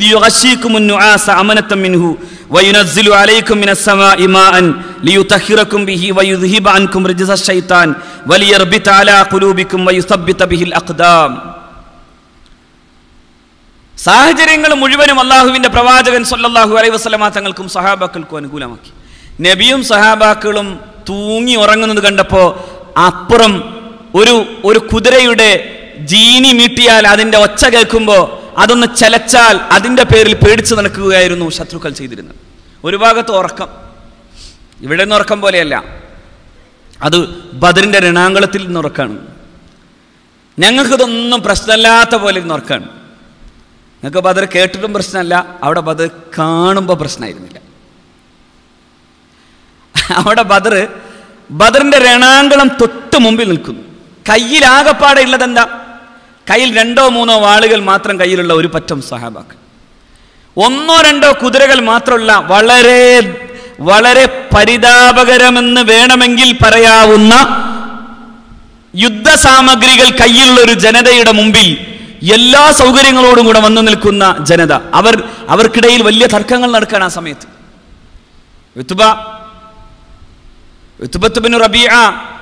ഇങ്ങനെ ഓടി നടന്ന് പറയുന്നുണ്ട് യുദ്ധം നമുക്ക് ആ വേണോ? കാരണം നമ്മൾ നമ്മുടെ സഹോദരന്മാരും പിന്നെ സഹോദര പുത്രന്മാരും തമ്മിലുള്ള യുദ്ധം നടത്താനാണ് പോണത്. അതുകൊണ്ട് അബൂജഹൽ ഇതൊന്നും മാറ്റി നമുക്ക് തിരിച്ചു പോയിക്കൂടെ കാരണം അത്രയേറെ പേടിച്ചിരുന്നു യുത്തുബ അഷ്റഫുൽ ഖൽഖ് സല്ലല്ലാഹു അലൈഹി വസല്ലമ തങ്ങൾ അതേ ഉത്തുബയാണ് ആദ്യം ബദറിലേക്ക് ഇറങ്ങി വന്നത് എന്നത് വേറൊരു കാര്യമെങ്കിലും ഉത്തുബ ആദ്യം ചെയ്തത് ഈ യുദ്ധം അവസാനിപ്പിക്കാനുള്ള സമയമായിരുന്നു. മാത്രമല്ല അവിടെ ആകത്താടെ ബേജാറുണ്ടാകാൻ ഇത്തരം കുറേ സംഭവങ്ങളുണ്ട്. ആത്തിക്ക ബീവി കണ്ട സ്വപ്നം. അബൂജാൽ ചോദിക്കുന്നുണ്ട് ആത്തിക്ക ബീവി കണ്ട സ്വപ്നത്തെ കുറിച്ച് അബ്ബാസ് അലി അള്ളാഹു താലാനിനോട് ഇപ്പോ നേരത്തെ ഒരു നബി ഉണ്ടായുള്ളൂ ഇപ്പൊ നബിച്ചു വന്നോ? എന്ന് ചോദിക്കുന്നുണ്ട്. അത്ര അഹങ്കാരിയായിരുന്നു അബൂജഹൽ ലാനത്തുല്ലാഹി അലി പക്ഷെ ഈ സംഭവങ്ങളൊക്കെ ഉണ്ടായത് കൊണ്ട് തന്നെ ആളുകൾക്കിടയിൽ ആയിരത്തോളം വരുന്ന ഈ ശത്രു സമൂഹം മുഴുവനും കിടന്നു വല്ലാതെ പരിഭ്രാന്തിയിലും യുദ്ധം അവസാനിപ്പിക്കണോ വേണ്ടോ എന്നൊരവസ്ഥയിലും നിൽക്കുമ്പോഴാണ് ഒരു ഭാഗത്ത് ഒരു വിഭാഗം ആൾക്കാരിൽ നിന്ന് ഇങ്ങനെ തൂങ്ങി ഉറങ്ങാം അത് കണ്ടപ്പോൾ ശത്രുക്കളെ സംബന്ധിച്ചിടത്തോളം ഇതെന്താണെന്ന് മനസ്സിലാവുന്നില്ല. ഇവർക്ക് പേടി എന്ന് പറയുന്നതില്ല. പരിശുദ്ധ ഖുർആൻ പറയുന്നു അള്ളാഹു അങ്ങ് ചെയ്യിപ്പിച്ച പണിയാണ് ഇത് മിൻഹു. ഈ യുദ്ധത്തിന്റെ സാഹചര്യങ്ങളെ മുഴുവനും പിന്നെ പേടിക്കാതെ അള്ളാഹുവിന്റെ ഭാഗത്തുള്ള നിർഭയത്വം കൊണ്ട് നിങ്ങൾക്ക് മേൽ അള്ളാഹു റബുലിസത്ത് ചെയ്തു വെച്ച പണി നിങ്ങൾക്ക് തൂങ്ങിയുറക്കം ഉണ്ടാക്കി തന്നു. തൂങ്ങിയുറക്കം ഇങ്ങനെ മൂടി നിന്നു നബിയുടെയും സഹാബത്തിന്റെയും കൂടെ. അവരുടെ വാളൊക്കെ ഊർന്നു പോകുന്ന വിധം നബിയും സൊല്ലാഹു അലൈഹി വസ്ലം അവിടുത്തെ സഹാബാക്കൾക്കും ഇങ്ങനെ വളരെ സുരക്ഷിതമായ ഒരു സ്ഥലത്തിരിക്കുന്നത് പോലെ ഉറങ്ങുന്നൊരവസ്ഥയുണ്ടായി. മാത്രല്ല വയുനസ്സുലു അലൈക്കും മിനസ്സമായി മാആ ആകാശത്തു നിന്ന് വെള്ളം ധാരാളം മഴ പെയ്തു കൊടുത്തു നബി തിരുമേനി സല്ലല്ലാഹു അലൈഹി വസ്ലമക്കും സഹാബാക്കൾക്കും ആവശ്യമായ സൗകര്യം അള്ളാഹു സുബാനത്തൽ ഉണ്ടാക്കി കൊടുത്തു. നബി തിരുമേനിയുടെയും സഹാബാക്കളുടെയും മഹാന്മാരായ സഹാബാക്കളുടെ ആവശ്യങ്ങൾ മുഴുവനും നടക്കുകയും വെള്ളം ശേഖരിക്കാൻ സാധിക്കുകയും ചെയ്യുമ്പോൾ മറുവശത്ത് വല്ലാത്ത ഭീതിയിലാണ്. അവർ ഒട്ടകങ്ങളെ അറുത്തിട്ട് വെള്ളം കുടിക്കാൻ പോലും കഴിയാത്ത വിധം നിരാശന്മാരായി മാറുന്നൊരവസ്ഥയും അള്ളാഹു സുബാനത്തുണ്ടാക്കി ഒരു ഭാഗത്ത് അവരെങ്ങനെ നോക്കിയാൽ ശത്രുക്കളെ നോക്കുമ്പോൾ കാണുന്നത് അവർക്ക് വല്ലാതെ തോന്നുന്നു എന്നതോടൊപ്പം തന്നെ മഹാന്മാരായ സ്വഹാബാക്കളെ നോക്കുമ്പോൾ കാണുന്നത് ഇരട്ടിക്കരട്ടിയായി അള്ളാഹു സുബാനുവത്താലയുടെ കണ്ണിൽ വലിയ ആളുകളാണ് വലിയ തരത്തിൽ ഒരു സമൂഹം തന്നെ ഉണ്ട് എന്ന് തോന്നിപ്പിക്കുന്ന വിധത്തിൽ ഉണ്ടാക്കി കൊടുത്തു. അബൂജഹൽ ആളെ വിട്ട് അന്വേഷിക്കുമ്പോൾ കാണുന്നത് ആകെ ഒരു ഒരു ഒട്ടകത്തെ തിന്നാൻ പോലും ആളില്ല എന്നൊക്കെ അബൂജഹൽ വലിയ വീമ്പൊക്കെ പറഞ്ഞെങ്കിലും നേരെ കണ്ണു തുറന്ന് നോക്കുമ്പോഴൊക്കെ കാണുന്നത് പടച്ച തമ്പുര ഉണ്ടാക്കി വെച്ചത് അവിടെ ഒരു ഇമേജാണ് അതായത് ഈ മുന്നൂറ്റി ചില്ലുവാനും വരുന്നവരെ ഇരട്ടിയാക്കി റബ്ബ് സുഹാനോ തല കാട്ടിക്കൊടുത്തു. ഭീതി മുഴുവനും ഒരു ഭാഗത്ത് ഇവിടെ അമനത്ത് ഇവിടെ എല്ലാവിധത്തിലുള്ള ശാന്തിയും ഒരു ഭാഗത്ത്. ഇങ്ങനൊരു ഇങ്ങനൊരു സന്ദർഭം ഉണ്ടാക്കി അള്ളാഹു സുബാനുഹുവ താല മഹാനായ പ്രവാചകൻ സല്ലാഹു അലൈഹി വസല്ലമ തങ്ങളെയും സഹാബാക്കളെയും നിർത്തി. അവിടെ കാണുന്ന അത്ഭുതകരമായ ഒരുപാട് സന്ദർഭങ്ങൾ നമ്മൾ ആലോചിക്കണം അവിടെ അള്ളാഹുവിന്റെ പ്രവാചകൻ സല്ലാഹു അലൈഹി വസല്ലമ തങ്ങൾ അണി ശരിയാക്കാൻ വേണ്ടി നബി തിരുമേനി സല്ലല്ലാഹു അലൈഹി വസല്ലം ആളുകളെ വിളിക്കുന്ന കൂട്ടത്തിൽ ഓരോരുത്തർ ഇങ്ങനെ സെലക്ട് ചെയ്തു. യുദ്ധത്തിന് പറ്റിയ ആൾക്കാരല്ലാത്തവരെ പറഞ്ഞു വിടാൻ നബി തിരുമേനി സല്ലല്ലാഹു അലൈഹി വസല്ലമ തങ്ങൾ തയ്യാറാണ്. അപ്പോഴാണ് സഹദുബിൻ ബിൻ അബി വക്കാസ് അലി അള്ളാഹു അൻഹുവിന്റെ സഹോദരൻ കൂടിയായ ഉമേർ പതിനാറ് വയസ്സ് കഴിഞ്ഞിട്ടില്ല ആ കുട്ടി. അള്ളാഹുവിന്റെ പ്രവാചകൻ സല്ലല്ലാഹു അലൈഹി വസല്ലമ തങ്ങൾ ആ പിഞ്ചു മോനോട് നിനക്ക് പോകാമെന്ന് പറഞ്ഞപ്പോൾ പൊട്ടിക്കരഞ്ഞിട്ട് അള്ളാഹുവിന്റെ പ്രവാചകൻ സല്ലാഹു അലൈ വസല്ലമ തങ്ങളോട് പറഞ്ഞു ഉമൈർ നബി എന്നെ പറഞ്ഞേക്കരുത്. ഞാൻ ഇവിടെ ഷഹീദാകാൻ വേണ്ടി വന്നതാണ് എന്ന് ഉമൈർ അലി അള്ളാഹു തലാൻ ഈ വീര്യം ഈ വീര്യമാണ് പരിശുദ്ധ ദീനിന്റെ മാർഗത്തിൽ മഹാന്മാരായ ബദരീങ്ങൾ ഉണ്ടാക്കിയെടുത്തത്. കേവലം മുന്നൂറ്റി പതിമൂന്നോളം വരുന്നവർ അള്ളാഹുവിന്റെ ദീനിന് ദീനിന് വേണ്ടിയുള്ള പോരാട്ടത്തിൽ പതിനാറ് വയസ്സ് പോലും തികയാത്തവന് ആഗ്രഹം യുദ്ധത്തിൽ ഷഹീദാകണമെന്നാണ് സ്വർഗത്തിന്റെ കഥ പറഞ്ഞു നിൽക്കുമ്പോ യുദ്ധത്തിന്റെ മുമ്പിൽ നിൽക്കുന്ന മറ്റൊരു സഹാബി ഹബീബായ റസൂൽ സല്ലാഹു അലൈ വസ്ലമയോട് ചോദിച്ചു നബിയെ എനിക്കും സ്വർഗവും തമ്മിലുള്ള ബന്ധത്തിന്റെ അകലം എത്രയുണ്ട്? എന്ന് ചോദിക്കുന്നു. നബി തിരുമേനി പറയുന്നു രണാങ്കളത്തിൽ ചെന്നാൽ നീ ഷഹീദായാൽ നിനക്ക് സ്വർഗമുണ്ടാകും. എന്നാൽ എന്റെ കയ്യിൽ കാരക്കയുണ്ട് നബിയെ ഞാനത് കളയാമെന്ന് പറഞ്ഞു. പിന്നെ പോയി അങ്ങ് ഷഹീദാകുന്നു. അങ്ങനെ അങ്ങനെയാണ് ആ യുദ്ധം. അബ്ദുറഹ്മാൻ ഔഫ് അലി അള്ളാഹു താലാനു നോക്കുന്നുണ്ട്. അണി ശരിയാക്കി നിർത്തിയപ്പോൾ രണ്ട് ചെറിയ പിള്ളേരാണ് അബ്ദുറഹ്മാൻ ബിൻ അഫർ അലി അള്ളാഹു താലാനുവിന്റെ രണ്ട് ഭാഗത്തുള്ളത്. ഇവരെ കണ്ടപ്പോൾ അബ്ദുറഹ്മാൻ ബിൻ അഫ് തങ്ങൾ മനസ്സിൽ ഇങ്ങനെ ആലോചിച്ച് പഠിച്ചോനെ എന്തൊരു കുടുക്കാണ്. കാരണം അല്ലെങ്കിലേ തന്നെ യുദ്ധത്തിന് ആവശ്യമായ സാമഗ്രികൾ ഇല്ലാതിരിക്കെ കൂടെയുള്ളത് രണ്ട് ചെറിയ പിള്ളേരാണല്ലോ. ഇവരെ വച്ചിട്ട് യുദ്ധമണി ഉണ്ടാക്കുമ്പോൾ ഇരുഭാഗത്തുമുള്ളവർ വളരെ പ്രധാനമാണ്. അതുകൊണ്ട് ഇങ്ങനെ ഒരു വിഭാഗം ഈ രണ്ട് കുട്ടികളെ വെച്ചിട്ട് എങ്ങനെ യുദ്ധം ചെയ്യാനാണ് എന്ന് ആലോചിച്ച് നിൽക്കുമ്പോൾ ഒരുത്തൻ അബ്ദുറഹ്മാൻ ബിൻ ആഫിന്റെ വലത്തെ ചെവിയിൽ വന്നിട്ട് ചോദിച്ചു അമ്മി ആരാണ് ഈ അബൂജഹൽ എവിടെയാണ് ഈ അബൂജഹൽ ഒന്നൊന്ന് കാട്ടിത്തരണം എന്നായി അബ്ദുറഹ്മാൻ ബിൻ തങ്ങൾ ചോദിച്ചു അല്ല എന്തിനാ നിനക്ക് അബൂജഹലിനെ ആരാ അബൂജഹൽ എന്നാ വിചാരിച്ചത്? ശത്രുക്കളുടെ കൂട്ടത്തിലെ ഏറ്റവും ശക്തനാണ് അവനെ ഒരു ഒട്ടകത്തിനെ അറുത്തതിനു ശേഷം അതിന്റെ തുകലിൽ ഇരുത്തിയിട്ട് വലിച്ചപ്പോ ഒട്ടകത്തിന്റെ ഈ ഈ ബലമുള്ള തോൽ പിഞ്ഞിപ്പോന്നുവെന്നാണ് അത്രമേൽ കരുത്തനാണ് അബുജഹൽ ലഅനത്തുല്ലാഹി അലൈ അവനെ കാട്ടിത്തരണമെന്നാണ് ഈ കുട്ടിയുടെ ചോദ്യം. എന്തിനാണത്? അഷ്റഫുൽ ഖൽഖ് സല്ലല്ലാഹു അലൈഹി വസല്ലമ തങ്ങളെ ഏറ്റവും കൂടുതൽ പീഡിപ്പിക്കുകയും നബി തിരുമേനി സല്ലല്ലാഹു അലൈഹി വസല്ലമ തങ്ങളെ ആക്ഷേപിക്കുകയും ചെയ്ത അവനെ എന്റെ കൺമുൻപിൽ കിട്ടിയാൽ ഒന്നുകിൽ ഞാൻ അല്ലെങ്കിൽ അവൻ എന്നൊരവസ്ഥയുണ്ടാകും എന്നായി ഈ കുട്ടി. ഏതായാലും ഇവൻ കേമനാണെന്ന് വിചാരിച്ച് തിരിഞ്ഞു നിന്നപ്പോൾ അടുത്ത കുട്ടി ഇപ്പറേ നിന്ന് വിളിച്ചിട്ട് ചോദിക്കുന്നു അമ്മി എവിടെയാണ് അബൂജഹൽ എന്ന് കാട്ടിത്തന്നെ മറ്റോൻ അറിയണ്ട അതിനാ ഇത്ര സ്വകാര്യം.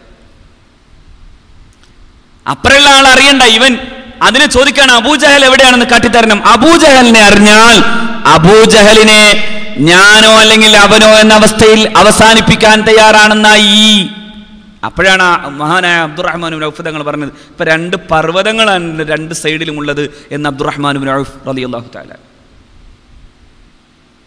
നിങ്ങൾ ആലോചിക്കണം ഈ ഒരു ഈ ഒരു ധീരത അള്ളാഹുവിന്റെ റസൂൽ സല്ലാഹു അലൈഹി വസല്ലമ തങ്ങളുടെയും തങ്ങളുടെ കൂടെ നിന്നുകൊണ്ട് മഹാന്മാരായ സ്വഹാബാക്കൾ കാട്ടിയ അതിലെ ഈ ഈ പറയുന്ന പ്രായം പോലും എത്താതിരുന്നവർക്ക് പോലും ഉണ്ടായിരുന്ന ബന്ധത്തിനാണ് അള്ളാഹു സുബാനുഹു തല സഹായം ചെയ്തു കൊടുത്തത്. ആ ബന്ധത്തിന്. ആദ്യം ഇറങ്ങിപ്പോയത് മഹാനായ അലീബിൻ അബി താലിബും മഹാനായ ഹംസാർ അലി അള്ളാഹു താലാനും ഇത് ഒരുപാട് കാര്യമായി ഇങ്ങനെ നീണ്ട വിശദീകരണങ്ങളിലേക്ക് പോകാതെ ഞാനിതിനെ ചെറിയ ചെറിയ കാര്യങ്ങൾ വിശദീകരിക്കാൻ ആഗ്രഹിക്കാൻ. അലീബിൻ അബി താലിബ് അലി അള്ളാഹുൻ ഹംസാർ അലി അള്ളാഹു താലാൻ ഉബൈദാർ അലി അള്ളാഹു താലാൻ കുറേശികളിൽ നിന്ന് ആദ്യം ഇറങ്ങി വന്നത് ഉത്തുബ അതുപോലെ തന്നെ വലീദ് റബിയ ഈ മൂന്ന് പേരുമാണ് കുറൈശി ഭാഗത്ത് നിന്ന് ഇറങ്ങി വന്നത്. മഹാനായ ഉബൈദാർ അലി അള്ളാഹു താലാന് വെട്ടേറ്റ് വീണു. ഉബൈദാർ അലി അള്ളാഹു താലാനുവിനെ അഷ്റഫുൽ ഹൽഖു സല്ലാഹു അലൈ വസ്ലമ തങ്ങളുടെ കാലിൽ കിടത്തിയിട്ടാണ് നബിദുമേനി സല്ലാഹു അലൈഹി വസല്ലമ തങ്ങൾ ശുശ്രൂഷിച്ചത്. അപ്പോൾ ആ വൃദ്ധന്റെ ചോദ്യം ഇതായിരുന്നു. നബിയെ എനിക്ക് ഷഹീദിന്റെ കൂലി കിട്ടുമോ എന്നായിരുന്നു ഹബീബായ റസൂൽ സല്ലാഹു അലൈഹി വസ്ലമയോട് മഹാനായ ഉബൈദാർ അലി അള്ളാഹു താല എന്നിട്ടൊരു ചോദ്യം നബി തിരുമേനി സല്ലാഹു അലൈഹി വസല്ലമയോട് ചോദിക്കുന്നുണ്ട്. ഞാൻ ഷഹീദാകും ഷഹീദാകുന്ന ഷഹീദിന്റെ കൂലി കിട്ടും എന്ന് നബി തിരുമേനി സല്ലാഹു അലൈഹി വസല്ലമ തങ്ങൾ മറുപടി പറയുമ്പോൾ മഹാനായ ഉബൈദാർ അലി അള്ളാഹു താലാനു നബി തിരുമേനി സല്ലാഹു അലൈഹി വസ്ലമയോട് പറയുന്ന നബിയെ ഞാൻ അബൂ താലിബിനെ കണ്ടാൽ ഞാൻ അബൂ താലിബിനോട് ഒരു വർത്തമാനം പറയുന്നുണ്ട്. എന്താണ് ആ വർത്തമാനം? മഹാനായ ഉബൈദ തങ്ങൾ പറയുന്നുണ്ട് വനുസ്ലിമുഹു ഹത്താനു സർറദൂനഹു വനദ്ഹാല അൻ അബ്നാഇനാ വൽ ഹലായിലി വനുസ്ലിമുഹു അബൂ താലിബിനെ കണ്ടാൽ അബൂ താലിബിനെ നാളെ ആഖിറത്തിൽ വെച്ച് കണ്ടാൽ ഞാൻ അബൂ താലിബിനോട് പറയും വനുസ്ലിമുഹു ഹത്താനുസറഅദൂനഹു ഞങ്ങൾ അവരെ സംരക്ഷിക്കും ഞങ്ങൾ ആ മനുഷ്യന്റെ കാൽച്ചുവട്ടിൽ വെട്ടേറ്റ് വീഴും വരെ സംരക്ഷിക്കും. ഹബീബായ അലൈഹി വസല്ലം. ഹത്താ നദ്ഹല. നദ്ഹല അൻ അബ്നാഇനാ വൽ ഹലായിലി ഞങ്ങളുടെ പ്രിയപ്പെട്ട ഭാര്യമാരെയും മക്കളെയും മറന്നിട്ട് പുണ്യനബി സല്ലല്ലാഹു അലൈഹി വസല്ലമ തങ്ങളുടെ സംരക്ഷണത്തിന് വേണ്ടി ആ പരിശുദ്ധ റസൂലിന്റെ കാൽച്ചുവട്ടിൽ ഞങ്ങൾ വെട്ടേറ്റ് വീഴുന്നത് വരെയും നബി തിരുമേനി സല്ലാഹു അലൈ വസല്ലമ തങ്ങളുടെ സംരക്ഷണം ഞങ്ങൾ ഏറ്റെടുക്കും എന്നായിരുന്നു മഹാനായ ഉബൈദ റളിയല്ലാഹു താലാൻ ഉബൈദ പിന്നെ അള്ളാഹുവിന്റെ റസൂൽ സല്ലാഹു അലൈ വസ്ലമയും സഹാബാക്കളും പരിശുദ്ധ ബദറിൽ നിന്ന് എല്ലാം കഴിഞ്ഞ് തിരിച്ചു പോകുന്ന സമയത്താണ് ഉബൈദ അലി അള്ളാഹു താലാൻ വഫാത്താകുന്നത്. റസൂൽ എറണാകുളത്തിൽ മരിക്കുന്നവർക്കാണ് ഷഹീദിന്റെ കൂലി കിട്ടുക എങ്കിലും പ്രത്യേകമായി നബി തിരുമേനി സല്ലാഹു അലൈ വസല്ലമ തങ്ങൾ പറഞ്ഞ ആളാണ് മഹാനായ ഉബൈദ റലി അള്ളാഹു താലാൻ ആ യുദ്ധത്തിൽ അവൻ മുഴുവനാക്കി. നബി തിരുമേനി സല്ലാഹു അലൈ വസല്ലമ തങ്ങളുടെ സഹാബത്തിനെ അള്ളാഹു സുബ്ഹാനഹു തല വിജയിപ്പിക്കുന്നത് നമുക്ക് കാണാൻ സാധിക്കും.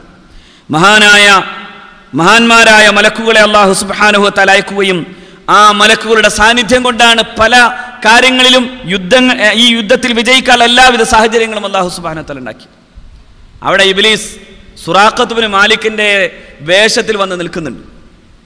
അന്ന് കിനാനക്കാരുമായുള്ള ഒരു ചെറിയ തർക്കത്തിൽ കുറേശികൾ കിനാന ഗോത്രത്തിൽപ്പെട്ട ഒരാളെ കൊന്നപ്പോ ആ കൊലപാതകത്തിന്റെ പ്രതികാരമെങ്ങാനും തീർക്കാൻ ഒരു അവസരം കിട്ടിയേക്കുമോ? അതിനൊരു അവസരമായിരിക്കുമോ ബദറിലേക്കുള്ള ഞങ്ങളുടെ പോക്ക്? ആ കൂട്ടത്തിൽ മുഹമ്മദ് നബി സല്ലാഹു അലൈഹി വസ്ലമയെ കിനാനക്കാരെ സഹായിച്ചേക്കുമോ എന്ന് പേടിച്ചിരുന്നു കുറേശികൾ. കിനാന ഗോത്ര തലവനാണ് സുറാഖത്തുബിന് മാലിക്. ഈ സുറാഖത്തുബിന് മാലിക്കിനെ വേറൊരു തരത്തിൽ അറിയാം. മദീനയിലേക്ക് റസൂലുള്ളാഹി സല്ലാഹു അലൈഹി വസ്ലം പോകുന്ന സമയത്ത് നബി തിരുമേനി സ്വല്ലല്ലാഹു അലൈഹി വസല്ലമ തങ്ങളെ പിടികൂടുന്നവർക്ക് നൂറൊട്ടകം ഇനാം പ്രഖ്യാപിച്ചു അബൂജഹൽ അലൈഹി അബൂജഹലിന്റെ ഈ പ്രഖ്യാപനം കേട്ടിട്ട് നബി തിരുമേനി സല്ലാഹു അലൈഹി വസല്ലമയുടെ കൂടെ നബി തിരുമേനിയുടെ പിന്നാലെ അള്ളാൻ റസൂലിനെ പിടികൂടാൻ വേണ്ടി പോയ ആളാണ് സുറാഖത്തുബിന് മാലിക്. നബി തിരുമേനിയുടെ അടുക്കലെത്തും എത്തിയ പാടെ സുറാഖത്തുബിന് മാലിക് അവന്റെ കുതിര അവന്റെ ഒട്ടകത്തിന്റെ രണ്ട് കാലും ഭൂമിയിലേക്ക് താഴ്ന്നു പോകും. പിന്നെ രക്ഷപ്പെടുത്താൻ വേണ്ടി റസൂൽദാനുടെ ദ്വാരക്കും അയാൾ രക്ഷപ്പെടും. പിന്നെയും പോകും.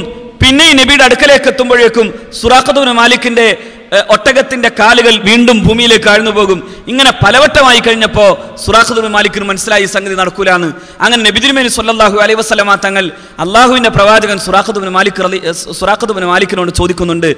അള്ളാഹുവിന്റെ പ്രവാചകൻ സുറാഖ ഇത് രക്ഷയില്ലാത്ത പരിപാടിയാണ് അതുകൊണ്ട് തിരിച്ചു പോകാം. പക്ഷെ സുറാഖ ഒരു കാര്യമുണ്ട്. പേർഷ്യൻ സാമ്രാജ്യത്തിന്റെ ചക്രവർത്തിയുടെ വളകൾ സ്വർണ വളകൾ നിന്റെ കയ്യിലിട്ടാൽ എന്തായിരിക്കും സുറാക്ക അവസ്ഥ എന്ന് സുറാഖത്തുബിന് മാലിക്കിനോട് മുഹമ്മദ് നബി വസല്ലം.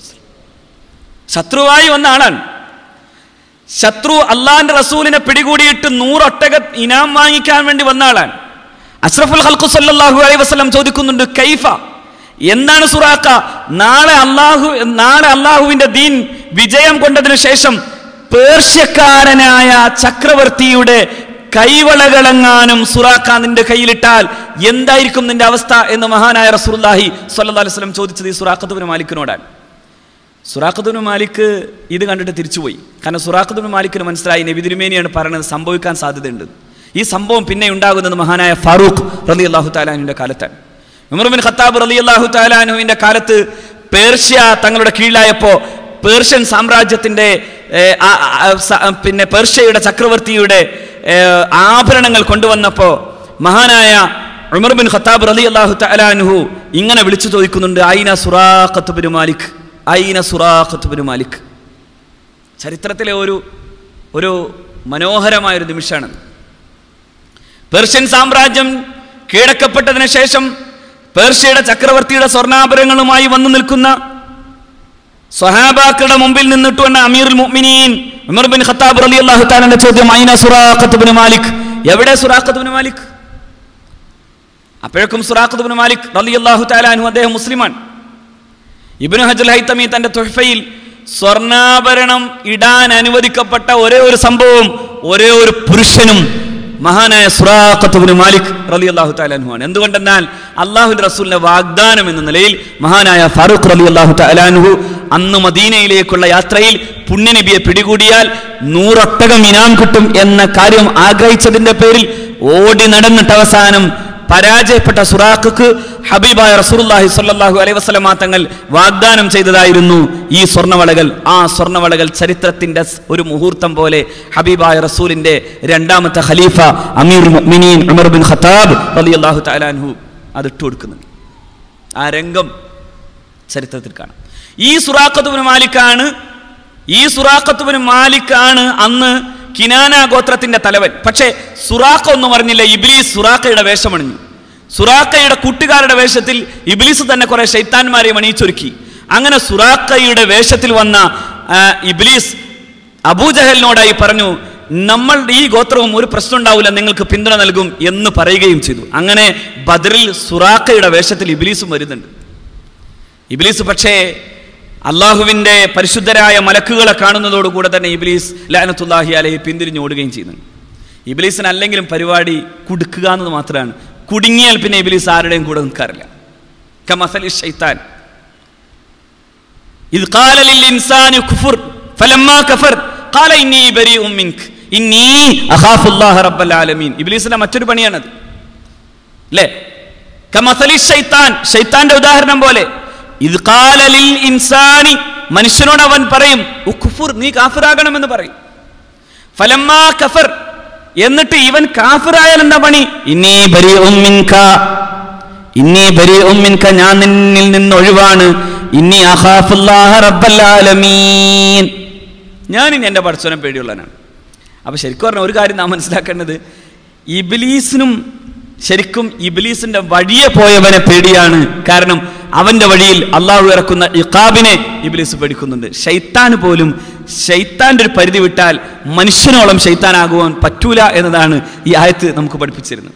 ഷൈത്താന് പോലും ഷെയ്ത്താനൊരു പരിധിയുണ്ട്. ആ പരിധിക്ക് പരിധിക്കപ്പുറത്തേക്ക് ഷൈത്താനാകാൻ കഴിയില്ല. മനുഷ്യനാണെങ്കിൽ മനുഷ്യന് ആ പരിധിയും ലംഘിക്കാനാകും. അതാണ് ഷൈത്താൻ എത്ര പോയാലും ദൈവനിഷേധിയല്ല. ഇന്നി ബരി ഉമിൻക ഇന്നി അഖാഫുല്ലാഹ റബ്ബുൽ ആലമീൻ. ഞാൻ നിന്നിൽ നൊഴിവാണ് ഞാൻ ഞാൻ എന്റെ ഈ പ്രപഞ്ചത്തെ സൃഷ്ടിച്ച പടച്ചതമ്പുരാനെ പേടിക്കുന്നു എന്ന് ഇബ്ലീസ് ലഅനത്തുല്ലാഹി അലഹി പറയുമെന്ന് വിശുദ്ധ ഖുർആൻ. അങ്ങനെ ഇബ്ലീസ് പറയും. അപ്പൊ ഇബ്ലീസ് ഒരിക്കലും ആരാവൂല എന്ന് ഉറപ്പാണെന്നറിയോ? ഒരിക്കലും ഇബ്ലീസ് പിന്നെ ദൈവ നിഷേധിയാവൂല ഇബ്ലീസ് കമ്മ്യൂണിസ്റ്റുകാരനാവൂല എന്ന് പറഞ്ഞാൽ വല്ല കുഴപ്പമുണ്ടോ? അങ്ങനെയാണ് ആവൂല. പക്ഷെ ഇബ്ലീസ് കമ്മ്യൂണിസ്റ്റുകാരെ ആക്കും എന്ന് പറഞ്ഞാൽ കുഫർ ഉണ്ടാക്കിയെടുക്കാവുന്ന എല്ലാ പണി ഇബ്ലീസ് ചെയ്യും. കാരണം ഇബ്ലീസിന്റെ പണി എന്താ? ല അഖുദന്നക്കും സുറാത്തക്കൽ ഞാനിരിക്കും. എന്തിനായിരിക്കണ അവർക്ക് വേണ്ടി തന്നെ കാത്തിരിക്കും. എവിടെ ഇരിക്കും സുറാത്തക്കൽ മുസ്തഖീം. ഞാൻ സുറാത്തുൽ മുസ്തഖീമിൽ കാത്തിരിക്കും എന്നാണ് ഇബിലീസ്. ശരിക്കും പറഞ്ഞാൽ ഇബിലീസിന് പണി എവിടെയാണെന്നറിയോ? സുറാത്തുൽ മുസ്തഖീമിലാണ്. എന്തിനാ സുറാത്തുൽ മുസ്തഖീമിന് പണി? സുറാത്തുൽ മുസ്തഖീമിൽ നിന്നാണ് പിഴപ്പിക്കേണ്ടതുള്ളൂ. സിനിമാ കോട്ടയിൽ ഇരുന്ന് ആരും ഉറങ്ങാറില്ല. സിറാത്തുൽ മുസ്തഖീമിൽ ഇരുന്ന് ഉറങ്ങാം കാരണം ഇബ്ലീസിന് എപ്പോഴും ആവശ്യം ഇവിടെയാണ്. എന്തേ കാരണം? ഇവിടെ നിന്നാണ് പഴപ്പിക്കേണ്ടത് അവിടെ പഴപ്പിക്കേണ്ട ആവശ്യമില്ല. ഇബ്ലീസ് നന്നായി കിതാബോധി പഠിച്ച മനുഷ്യനാണ്. തഹസിലുൽ ഹാസിൽ മുഹാലാണ്. ഒരു കാര്യം ഉണ്ടായാൽ പിന്നെ ഉണ്ടാവേണ്ടതില്ല. അത് ആവശ്യവുമില്ല അസാധ്യവുമാണ്. ഇബ്ലീസിനെ അറിയാം പിഴച്ചവനെ പിന്നെ പിഴപ്പിക്കേണ്ടതില്ല. അതുകൊണ്ട് ഇബിലിസ് ആ പണി അവിടെ അവസാനിപ്പിക്കും. അതാണ് ഖുർആൻ പറഞ്ഞത്. ഇത് ഖാലലിൽ ഇൻസാനി. മനുഷ്യനോട് ഇബിലിസ് പറയുന്ന സന്ദർഭം നീ നീ കാഫിറാകണമെന്ന് പറയും. കഫറ. പിന്നെ കാഫിറായാൽ അപ്പോ അവൻ പറയും ഇനി ബരി ഉമ്മിൻകാ ഇനി ഞാൻ ഒഴിവാണ്. ഇനി ഞാൻ ഒഴിവാണ്. എന്തേ കാരണം? ഞാൻ ഈ പ്രപഞ്ചത്തിന്റെ ഉടമസ്ഥനായ ഇതിന്റെ രക്ഷകനായ അള്ളാഹുവിനെ പേടിക്കുന്നു എന്ന് ഇബിലീസ് പറയുമെന്ന് പരിശുദ്ധ ഖുർആൻ. അപ്പൊ ആലോചിച്ചാൽ ഒരു കാര്യം മനസ്സിലാവും. ഇബിലീസ് നമ്മളെ പിഴപ്പിക്കുന്നു പിഴപ്പിച്ചിട്ട് പിന്നെ അവിടെ നിന്ന് മുതലുള്ള സ്റ്റാർട്ടിംഗ് പോയിന്റിൽ ഇബിലീസ് നമ്മുടെ കൂടെ ഉണ്ടാവില്ല അള്ളാഹു കാക്കുമാറാകട്ടെ. ഇത് തന്നെയാണ് അബൂജഹലിനോട് ഇബിലീസ് ചെയ്തത്. സുറാഖത്തുബിന് മാലിക്കിന്റെ രൂപത്തിൽ ഇബിലീസ് വന്നു. എന്നിട്ട് ഇബിലീസ് പറഞ്ഞു വൈദ് സയ്യനലഹും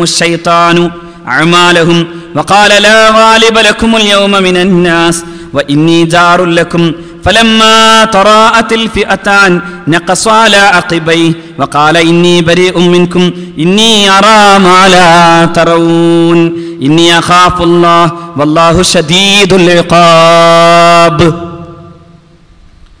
ജിബ്രീൽ അലൈഹി സ്വലാത്തു വസ്സലാം വന്നിട്ട് ഇങ്ങനെ ഇബിലീസിനെ നോക്കിയാടെ തന്നെ ഇബിലീസിന്റെ കയ്യിൽ പിടികൂടിയിരുന്ന ശത്രുവായിരുന്ന കുറേശി പ്രമാണിയുടെ കൈ ശരിക്കും വിടിയിച്ചിട്ടാണ് ഇബിലീസ് പറഞ്ഞത്. എടാ നീ കാണാത്ത ചില സംഭവങ്ങൾ ഞാൻ കണ്ട് തൽക്കാലം ഞാൻ ഇപ്പൊ തൽക്കാലം അവിടെ നിന്ന് വിടാണ് എന്ന് പറഞ്ഞു ഇബിലീസ്. ലഅനത്തുല്ലാഹി അലൈഹി. ഖുർആൻ അതാണ് പറഞ്ഞത്. വൈദ് സയ്യന ലഹുമു ശൈത്താനു അഅമാലഹും ഷൈത്താൻ സുറാഖത്തുൻ മാലിക്കിന്റെ രൂപത്തിൽ വന്നിട്ട് നിങ്ങൾ ഓക്കെയാണെന്ന് മാത്രമല്ല നിങ്ങളല്ലാതെ വേറെ ആരും ജയിക്കൂല ജനങ്ങളിൽ നിന്ന് നിങ്ങൾക്ക് വിജയമല്ലാത്ത മറ്റൊന്നുണ്ടാവൂല ഇന്ന് വിജയിക്കും. നിങ്ങൾ ധൈര്യമായിട്ട് പോരെ എന്ന് പറഞ്ഞു സുറാഖ. സുറാഖയുടെ വേഷത്തിൽ വന്ന ഇബ്ലീസ് ലാനത്തുല്ലാഹി അലൈ ലാനത്തുല്ലാഹി അലൈ അല്ല അതൊന്ന് പറഞ്ഞൂടെ?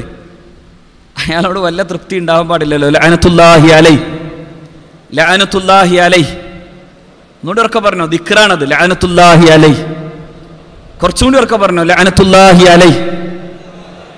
അതെ ഇബ്ലീസ് ഇവിടെ അബൂജഹലിനോട് പറഞ്ഞതും അബൂജഹലും കൂട്ടരോടും പറഞ്ഞത് ലാ വാലിബലക്കും ഇന്ന് നിങ്ങൾ ജയിക്കല്ലാത്ത മറ്റൊരു മാർഗമല്ല വേ ഇന്നി ജാറുലക്കും ഞാൻ നിങ്ങളുടെ കൂട്ടുകാരായി നിങ്ങളുടെ കൂടെ ഉണ്ടാവും ഞാനും എന്റെ ആളുകളും ഉണ്ടാകും നിങ്ങളുടെ കൂടെ നിന്നുകൊണ്ട് ഞങ്ങൾ യുദ്ധം ചെയ്യും എന്ന് പറഞ്ഞു ഇബ്ലീസ്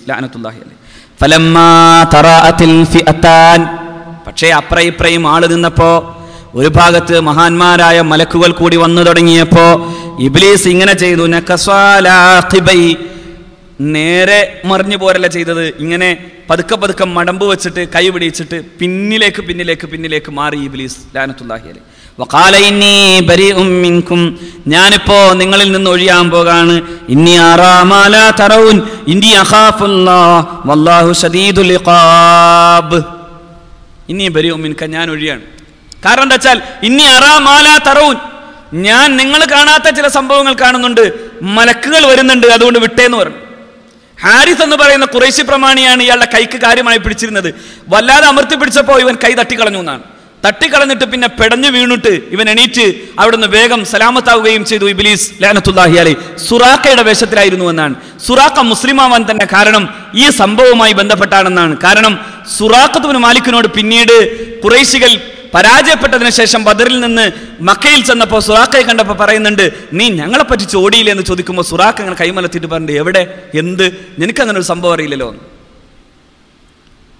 അപ്പോഴാണ് പരിശുദ്ധ ഖുർആൻ ഈ സംഭവം പറയുന്നത് ഇത് സയ്യനലഹുമു ഷൈത്താൻ എന്താ ചെയ്തത്? ഇവരെ ഇവരെ വളരെ ഉഷാറാക്കി കൊണ്ടുവരികയും ഇന്ന് നിങ്ങൾ പരാജയപ്പെടില്ല എന്നും ഇനി ജാറുലക്കും ഞാൻ നിങ്ങളുടെ കൂട്ടുകാരനാണെന്ന് പറയുകയും ചെയ്തു. സുറാഖത്തുബിന് മാലിക്കിന്റെ വേഷത്തിലായിരുന്നു ഇബിലിസ് ഉണ്ടായിരുന്നത്. സുറാഖക്ക് കാര്യം മനസ്സിലായി. ഇത് ഇത് പരിശുദ്ധ ഖുർആൻ പറഞ്ഞ സംഭവം ഇത് തന്നെയാണ്. എങ്കിൽ ഇതൊക്കെ പറയാൻ കഴിയുന്ന ഇതെല്ലാം കിട്ടപ്പെടുന്ന മുഹമ്മദ് നബി സല്ലാഹു അലൈ വസ്ലം നേരത്തെ പറഞ്ഞ സംഭവം കൂടി ആലോചിച്ചപ്പോ മഹാനായ സുറാഖ സുറാഖത്തുബിന് മാലിക് അലി അള്ളാഹു തലാൻഹു മുസ്ലിമായി. ഈ സംഭവം തന്നെ മക്കയിൽ പലരെയും മുസ്ലിമാക്കിയിട്ടുണ്ട് എന്നാണ് ചരിത്രം പറയുന്നത്. ഈ സംഭവത്തിൽ സുറാഖയെല്ലാം മറിച്ച് സുറാഖത്തുബിന് മാലിക്കിന്റെ വേഷത്തിൽ ഇബ്ലീസാണ് വന്നത് എന്ന് മനസ്സിലാക്കിയിട്ട് പലരും തന്നെ മുസ്ലിങ്ങളായിരുന്നു എന്നാണ്. ഏതായാലും സംഭവത്തിൽ വളരെ വലിയ പിന്നെ മഹാന്മാരായ മലക്കുകളുടെ പ്രത്യേകമായ സാന്നിധ്യം. ചിലരെ കൊന്നിട്ടത് ജിബിലിൽ ഉൾപ്പെടെയുള്ള മഹാന്മാരായ മലക്കുകളായിരുന്നു എന്ന്. ചിലരെ പിടികൂടിയതും അങ്ങനെയാണ്. മഹാനായ അബ്ബാസ് ബിൻ അബ്ദുൽ മുത്തലിബ് റലി അള്ളാഹുൻ അബ്ബാസ് തങ്ങൾ അന്ന് ഖുറൈശി കൂട്ടത്തിലാണ്. ഖുറൈശികളുടെ കൂട്ടത്തിലാണ് മഹാനവറുകൾ വന്നത്. ഖുറൈശി കൂട്ടത്തിൽ അന്ന് മുസ്ലിമായ അവസ്ഥയിൽ തന്നെയായിരുന്നു എന്നും അല്ലെന്നും അഭിപ്രായമുണ്ട്. എന്തായാലും നബി തിരുമേനി സല്ലല്ലാഹു അലൈഹി വസ്ലമയുടെ പ്രത്യേകമായ സ്നേഹവും മമതയും അബ്ബാസ് എന്നവർക്കുണ്ടായിരുന്നു മഹാനായ റസൂലുള്ളാഹി സ്വല്ലല്ലാഹു അലൈഹി തങ്ങളുടെ പിതൃവ്യൻ. എന്ത് തന്നെയാണെങ്കിലും മഹാനവറുകളെ പിടികൂടി കൊടുത്തത് അബ്ബാസ് ബിൻ അബ്ദുൽ മുത്തലിബ് തങ്ങളെ പിന്നെ കെട്ടിയതും പിടിച്ചു കൊണ്ടുപോയി കൊടുത്തതും ജിബ്രീൽ അലൈഹി സ്വലാത്തു വസ്സലാമാണെന്നാണ്. അപ്പൊ മലക്കുകളാണ് അവിടെ പണിയെടുത്തത്. മലക്കുകൾ അള്ളാഹുവിന്റെ റസൂൽ സല്ലാഹു അലൈഹി വസ്ലമയുടെ സ്വഹാബാക്കളെ സഹായിച്ചു. ആ യുദ്ധത്തിൽ പതിനേഴോളം വരുന്ന സഹാബാക്കൾ ഷഹീദാവുകയും അതേസമയം എഴുപതോളം പേർ മറുഭാഗത്ത് കൊല്ലപ്പെടുകയും അത്രയും തന്നെ നബി തിരുമേനി സ്വല്ലാഹു അലൈഹി വസല്ലമ തങ്ങളാൽ പിടികൂടപ്പെടുകയും ചെയ്തു തടവിലാക്കപ്പെടുകയും ചെയ്തു. ഈ യുദ്ധം ചരിത്രത്തിൽ ഏറ്റവും പ്രധാനമായി നാം മനസ്സിലാക്കേണ്ടത് യുദ്ധങ്ങളുടെ കൂട്ടത്തിൽ അള്ളാഹുവിന്റെ പ്രവാചകൻ സൊല്ലാഹു അലൈഹി വസല്ലമ തങ്ങൾ ചെയ്ത ആദ്യത്തെ യുദ്ധം എന്നതുകൊണ്ട് മാത്രമല്ല ലോക ചരിത്രത്തിന്റെ യുദ്ധങ്ങളുടെ കൂട്ടത്തിൽ വെച്ച് ഏറ്റവും നന്നായി മാനവീകമായ പരിഗണനകൾ കൊടുക്കുകയും യുദ്ധം അവസാനിപ്പിക്കപ്പെടാനും യുദ്ധം ഇല്ലായ്മ ചെയ്യാനും വേണ്ടത്ര സജീവമായി ശ്രദ്ധിക്കുകയും ഒടുക്കം യുദ്ധ തടവുകാരോട് ഏറ്റവും നന്നായി പെരുമാറുകയും ചെയ്യുന്നുണ്ട് മുഹമ്മദ് അലൈഹി വസല്ലം. മഹാനായ മഹാനായ മുസ്അബ് അലി അള്ളാഹു താലാനിന്റെ സഹോദരൻ ഇങ്ങനെ പറയുന്നത് ഹദീസുകളിൽ കാണാം. അള്ളാഹുവിന്റെ റസൂൽ സല്ലാഹു അലൈഹി വസല്ലമ തങ്ങൾ പറയുന്നു നിങ്ങൾ നിങ്ങൾ തടവ് പുള്ളികളോട് നന്മ കാണിക്കണേ എന്ന് നബിതിരുമേനി സൊല്ലാഹു സല്ലല്ലാഹു അലൈഹി വസല്ലമ തങ്ങൾ ഇസ്തൗസൂ ഉസാറ നിങ്ങൾ തടവ് പുള്ളികളോട് നന്മ കാണിക്കണം. മഹാനായ മുസ്അബ് അലി അള്ളാഹുവിന്റെ സഹോദരൻ പിന്നീട് പറയുന്നത് കാണാം അള്ളാഹുവിന്റെ പ്രവാചകന്റെ പരിശുദ്ധരായ സ്വഹാബാക്കൾ അവരുടെ കയ്യിലുണ്ടായിരുന്ന ഗോതമ്പ് കൊണ്ട് വിഭവസമൃദ്ധമായ ആഹാരമുണ്ടാക്കിയിട്ട് അത് ഞങ്ങൾക്ക് നൽകുകയും നബി തിരുമേനി അലൈഹി വസല്ലമയുടെ സ്വഹാബാക്കൾ അത് പിന്നെ അവർക്ക് കിട്ടിയിരുന്ന കാരക്കുകൾ ചപ്പിയിട്ട് തങ്ങളുടെ വിശപ്പും ദാഹവും തീർക്കുകയും ചെയ്യുന്ന സന്ദർഭങ്ങൾ ഉണ്ടായിരുന്നു എന്നാണ് പരിശുദ്ധ പ്രവാചകൻ സല്ലല്ലാഹു അലൈ വസല്ലമ തങ്ങളുടെ യുദ്ധത്തിന് ശേഷമുള്ള തടവിൽ നബി തിരുമേനി സല്ലല്ലാഹു അലൈഹി വസ്ലം ആ ജനതയോട് കാട്ടിയ മര്യാദ നമുക്ക് കാണാനാവും നമ്മളിവിടെയൊക്കെ ആലോചിക്കേണ്ടത് യുദ്ധം എന്ന് പറയുമ്പോഴേക്കും ഇസ്ലാമിന് നേരെ കുതിര കയറുന്ന ഒരുപാട് ആൾക്കാർ യുദ്ധ തടവുകാരോട് ലോകം കാട്ടിയ മര്യാദ എന്താ? അബൂബരീബിലും അതുപോലെയുള്ള യുദ്ധ തട ജയിലറകളിലുമെല്ലാം ഇറാഖിലെയും അതുപോലെ ലോകത്തെ പലയിടങ്ങളിലെയും മുസ്ലിങ്ങളെ കൊണ്ടുപോയിട്ടിട്ട് ജനാധിപത്യത്തിന്റെ സ്ഥാപനം എന്ന പേരിൽ യുദ്ധം ചെയ്ത അമേരിക്കക്കാരൻ ചെയ്തതെന്താ? അമേരിക്കക്കാരൻ അവിടെ മൃഗീയമായി പാവപ്പെട്ട മുസ്ലിമിനെ പാവപ്പെട്ട മുസ്ലിം സഹോദരന്മാരെ ഫ്ലഡ് ലൈറ്റുകളുടെ മുമ്പിലിരുത്തി ഉറങ്ങാതെ തങ്ങളുടെ ശരീരത്തിലെ വ്രണങ്ങളിലൊന്നും മാന്താൻ പോലും കഴിയാത്ത വിധം കുരുക്കിലിടുമ്പോ ഇവിടെ നമുക്ക് കാണാൻ കഴിയുന്ന വളരെ മനോഹരമായ ചില സന്ദർഭങ്ങളുണ്ട്. അഷ്റഫുൽ ഹൽക്ക് അന്നത്തെ അർദ്ധരാത്രിയിൽ നബി തിരുമേനി സുല്ലാഹു അലൈഹി വസ്ലം എഴുന്നേറ്റിരുന്നിട്ട് നബി തിരുമേനി സുല്ലാഹു അലൈഹി വസ്ലം തങ്ങൾ തേങ്ങിക്കരഞ്ഞപ്പോ സ്വഹാബത്ത് ചോദിക്കുന്നുണ്ട് എന്തേ നബിയെ അങ്ങ് കരയുന്നത്? എന്ന് ചോദിച്ചപ്പോൾ ഹബീബായ റസൂൽ സുല്ലാഹു അലൈഹി വസ്ലം പറഞ്ഞു അബ്ബാസ് തേങ്ങുന്നുണ്ട് അതെന്നെ വേദനിപ്പിക്കുന്നു എന്ന് പറഞ്ഞു മുഹമ്മദ് റസൂല്ലാഹി അലൈഹി അബ്ബാസ് തേങ്ങുന്നു. അവിടെ അങ്ങ് അങ്ങ് അപ്പുറം കുറേശികളിൽ നിന്ന് തടവ് പുള്ളികളായി പിടിക്കപ്പെട്ടവരുടെ കൂട്ടത്തിൽ അബ്ബാസിന്റെ തേങ്ങിക്കരച്ചിൽ ഞാൻ കേൾക്കുന്നുണ്ട്. അതുപോലെ പല ശത്രുക്കളായ കുറേശികളുടെയും തേങ്ങിക്കരച്ചിൽ ഞാൻ കേൾക്കുന്നുണ്ട്. അതുകൊണ്ട് എനിക്ക് ഉറക്കം വരുന്നില്ലെന്ന് പറഞ്ഞ മനുഷ്യ സൗഹൃദത്തിന്റെ ഏറ്റവും വിശാലമായ മാതൃകയുടെ പേരാണ് മുഹമ്മദ് വസല്ലം. ഏറ്റവും വിശാലമായ. അവിടെ റസൂൽ ഈ ബന്ധന ബന്ധനത്തെ ബന്ധിക്കപ്പെട്ടവരായിരുന്ന ആളുകളുടെ ബന്ധനങ്ങൾ അഴിച്ചു കൊടുക്കാൻ അള്ളാഹുവിന്റെ പ്രവാചകൻ സ്വഹാബത്തിന് കൽപ്പന കൊടുക്കുന്നത് നമുക്ക് കാണാം. യുദ്ധം കഴിഞ്ഞിട്ട് ശത്രുക്കളെ പിടികൂടിയാൽ പരമാവധി കൊന്നുകളയണമെന്ന് പറഞ്ഞു മഹാനായ ഫാറൂഖ് അലി അള്ളാഹുവൻ സിദ്ദീഖ് അലി അള്ളഹാൻ പറഞ്ഞു അവർ നിങ്ങളുടെ സഹോദരന്മാരാണ് ഒഴിച്ച് അവരെ മോചനദ്രവ്യം കൊടുത്തിട്ട് മാറ്റി പിന്നെ ഒഴി ഒഴിവാക്കണമെന്ന് പറഞ്ഞു. പരിശുദ്ധ ഖുർആൻ രണ്ടിന്റെയും നടുക്ക് നിന്നു. ചിലരെയൊക്കെ കൊല്ലാനും ചിലരെയൊക്കെ പിന്നെ ആവശ്യമായ മോചനദ്രവ്യം കൊടുത്ത് ഒഴിവാക്കാനും അള്ളാഹു സുബാനുഹത്താല കൽപ്പിച്ചു. കൽപ്പന വന്നപ്പോൾ റസൂലുള്ള ഒരുപാട് കരഞ്ഞു എന്നാണ്. ആ കൽപ്പനയുടെ മുമ്പിൽ നബി തിരുമേനി സല്ലല്ലാഹു അലൈഹി വസല്ലമ തങ്ങൾ കരഞ്ഞു എന്നാണ്. എന്നിട്ട് കൊന്നതോ രണ്ടോ മൂന്നോ പേരെയാണ്. ഏറ്റവും പ്രധാനമായി നാം മനസ്സിലാക്കേണ്ടത് ഹബീബായ റസൂൽ സുല്ലാഹു അലൈഹി വസ്ലമാ തങ്ങളെ ഏറെ ഉപദ്രവിച്ച ഒരിക്കലും നന്നാവാത്ത ചില സാധനങ്ങളെ മാത്രമാണ് ഹബീബായ റസൂലുള്ളാഹി സ്വല്ലല്ലാഹു അലൈഹി വസല്ലമ തങ്ങളെ നശിപ്പിച്ചു കളഞ്ഞത്. ഒന്ന് നെല്ലുറുബിൻ ഹാരിസ്. ഈ നെല്ലുറുബിൻ ഹാരിസിന്റെ പ്രത്യേകത എന്താ അറിയോ?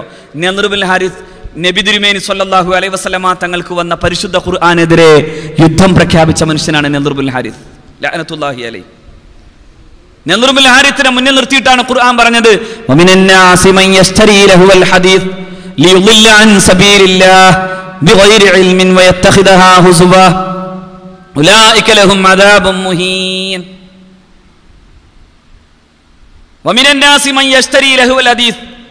ജനങ്ങളിൽ ചില ആളുകളുണ്ട് അവർ ലഹുൽ ഹദീസ് പായായ വർത്തമാനങ്ങളെ കാശ് കൊടുത്തു വാങ്ങുന്ന ആൾക്കാരാണ്. അള്ളാഹുവിന്റെ പരിശുദ്ധമായ മാർഗത്തിൽ നിന്ന് ആളുകളെ പഴപ്പിക്കാൻ ജനങ്ങളെ മാറ്റിയെടുക്കാൻ ഒരു ബോധവുമില്ലാതെ ആളുകളെ ഇല്ല പിന്നെ അള്ളാഹുവിന്റെ ദീനിന്റെ മാർഗത്തിൽ നിന്ന് പഴപ്പിക്കാൻ അള്ളാഹുവിന്റെ പരിശുദ്ധമായ ആയത്തുകളെ പരിഹാസ്യമായി കാണാനും അവർക്കാണ് ഏറ്റവും നിന്ദ്യമായ നിന്ദ്യമായ ശിക്ഷയുള്ളത് എന്ന് പരിശുദ്ധ ഖുർആൻ പറയുന്നു. നെല്ലുറുബിൻ ഹാരിത്തിന്റെ പണി ഖുർആൻ എന്ന ഈ അമേയമായ സൗന്ദര്യത്തിന്റെ മുമ്പിൽ ശത്രുക്കൾ പോലും പരിശുദ്ധ ഖുർആാനിന്റെ പാരായണം കേട്ട് സുജൂത് ചെയ്യുന്ന സന്ദർഭത്തിൽ അതിനെ ഇല്ലായ്മ ചെയ്യാനുള്ള മാർഗം ആരായുകയായിരുന്നു നെല്ലുറുബിൻ ഹാരിസ് ചെയ്തത്. സദീഖ് അലി അള്ളാഹു അനുഹു അവിടുത്തെ പരിശുദ്ധമായ വീട്ടിന്റെ ഉമ്മറത്തിരുന്ന് പരിശുദ്ധ ഖുർആൻ ഓതുന്ന സമയത്ത് വലിയ വലിയ ആളുകൾ പോലും വലീദുവിന് മുഗീറ ഋത്തുബ ഷൈബ പോലെയുള്ള പ്രഗത്ഭരായ ആളുകൾ പോലും മഹാനായ സുദ്ദീഖ് അലി അള്ളാഹു താലാനുവിന്റെ വീടിന്റെ ചുറ്റുവട്ടത്ത് വന്ന് നിൽക്കുകയും ഖുർആൻ കേൾക്കുകയും മഹാനവകൾ സുജൂദിലേക്ക് പോകുമ്പോൾ അറിയാതെ സുജൂദിലേക്ക് പോവുകയും ചെയ്തിരുന്ന സന്ദർഭങ്ങൾ ഉണ്ടായി അതുകൊണ്ടാണല്ലോ സുദ്ദീഖ് അലി അള്ളാഹു താലാനുവിനെ അക്കാലത്ത് തന്നെ നാട് കടത്താൻ വേണ്ടി കുറേശികൾ തീരുമാനിക്കുകയും ഒരു മധ്യസ്ഥന്റെ തീരുമാനപ്രകാരം പിന്നെ മഹാനായ സുദ്ദീഖ് അലി അള്ളാഹുനു സുബഹിന് ശേഷം ഇനിമേൽ ഖുർആൻ ഓതില്ല എന്നൊരു മധ്യസ്ഥ ശ്രമം നടത്തുകയും അങ്ങനെ വീണ്ടും മതി പിന്നെ മക്കയിൽ പാർപ്പിക്കുകയും ചെയ്യുന്ന സന്ദർഭം ഉണ്ടാകുന്നുണ്ട്. ഈ ഒരു സാഹചര്യത്തിൽ അള്ളാഹുവിന്റെ വിശുദ്ധ ഗ്രന്ഥത്തിന്റെ പാരായണത്തെ ആളുകൾ ശ്രദ്ധ വേണ്ടി ആദ്യം ഏറ്റവും ആദ്യം ചെയ്ത ഒരു പരിപാടി നെഹ്റുബുൽ ഹാരിസ് ചെയ്തത് റോമയിൽ നിന്ന് അശ്ലീല സാഹിത്യം രംഗത്ത് കൊണ്ടുവരികയും നർത്തകികളെ കൊണ്ടുവരികയും ചെയ്തിട്ടാണ് അന്ന് തന്നെ ഖുർആാനെതിരായി നെഹ്റുബുൽ ഹാരിസ് പണിയെടുത്തത്. ഒരു കാര്യം ഇവിടെ ശ്രദ്ധിക്കണം. എന്താണോ നെഹ്റുബുൽ ഹാരിസ് ഖുർആാനെ ഖുർആാനിന്റെ സൗന്ദര്യത്തെ ഇല്ലായ്മ ചെയ്യാൻ വേണ്ടി ആദ്യം നടത്തിയ പരിപാടി അതേ പരിപാടിയാണ് യഥാർത്ഥത്തിൽ യൂറോപ്പ് ഉൾപ്പെടെയുള്ള മുസ്ലിം വിരുദ്ധ സഖ്യശക്തികൾ എല്ലാ കാലത്തും മുസ്ലിം ഉമ്മത്തിൽ ചെയ്തു വച്ചിട്ടുള്ളത്. അതിനാണ് നഗ്നരായ പെണ്ണുങ്ങളുടെ നർത്ത നൃത്തത്തെ നഗ്ന നൃത്തങ്ങളെ നിങ്ങൾക്ക് മുമ്പിൽ കാട്ടിത്തരുന്ന ഈ പെട്ടികൾ നിങ്ങളുടെ മുമ്പിൽ വച്ചു തന്നത്. അതിലൂടെ പരിശുദ്ധ ഖുർആൻ എന്ന അമേയ സൗന്ദര്യത്തെ പാരായണം ചെയ്യാനും പഠിക്കാനും അതിനിരിക്കാനും സമയം കാണാതെ ഈ വൃത്തികെട്ട പാട്ടിന്റെയും നൃത്തത്തിന്റെയും പിന്നാലെ പോകുമ്പോൾ ആദ്യം ഈ പരിപാടി ചെയ്തയാൾ നിറുബുൽ ഹാരിസ് എന്ന് പറയുന്ന ഖുറൈശി പ്രമാണിയാണ്. അയാളാണ്. അയാളെ കുറിച്ച് പറഞ്ഞപ്പോഴാണ് വിശുദ്ധ ഖുർആൻ സൂറത്തുൽ ഖസസിൽ മൻ അൻ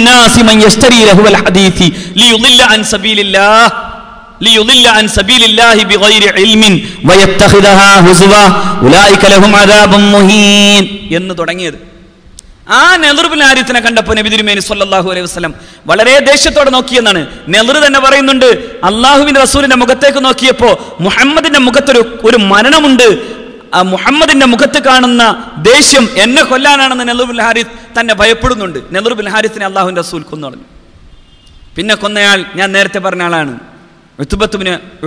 അബി മുഅയ്ത്ത് ലഅനത്തുല്ലാഹി അലൈ ഹബീബായ റസൂൽ സല്ലാഹു അലൈഹി വസല്ലമ തങ്ങളുടെ മുഖത്തടിക്കുകയും അള്ളാഹുവിന്റെ പ്രവാചകന്റെ പരിശുദ്ധമായ മെനിയിൽ ഒട്ടകത്തിന്റെ ചീഞ്ഞളിഞ്ഞ മാല കൊണ്ടുപോയി ഇടുകയും ചെയ്ത വൃത്തികെട്ടവനാണ് അള്ളാഹുവിന്റെ പ്രവാചകൻ സല്ലാഹു അലൈഹി വസല്ലമ തങ്ങളുടെ തടവ് പുള്ളികളിൽ ഒരാൾ.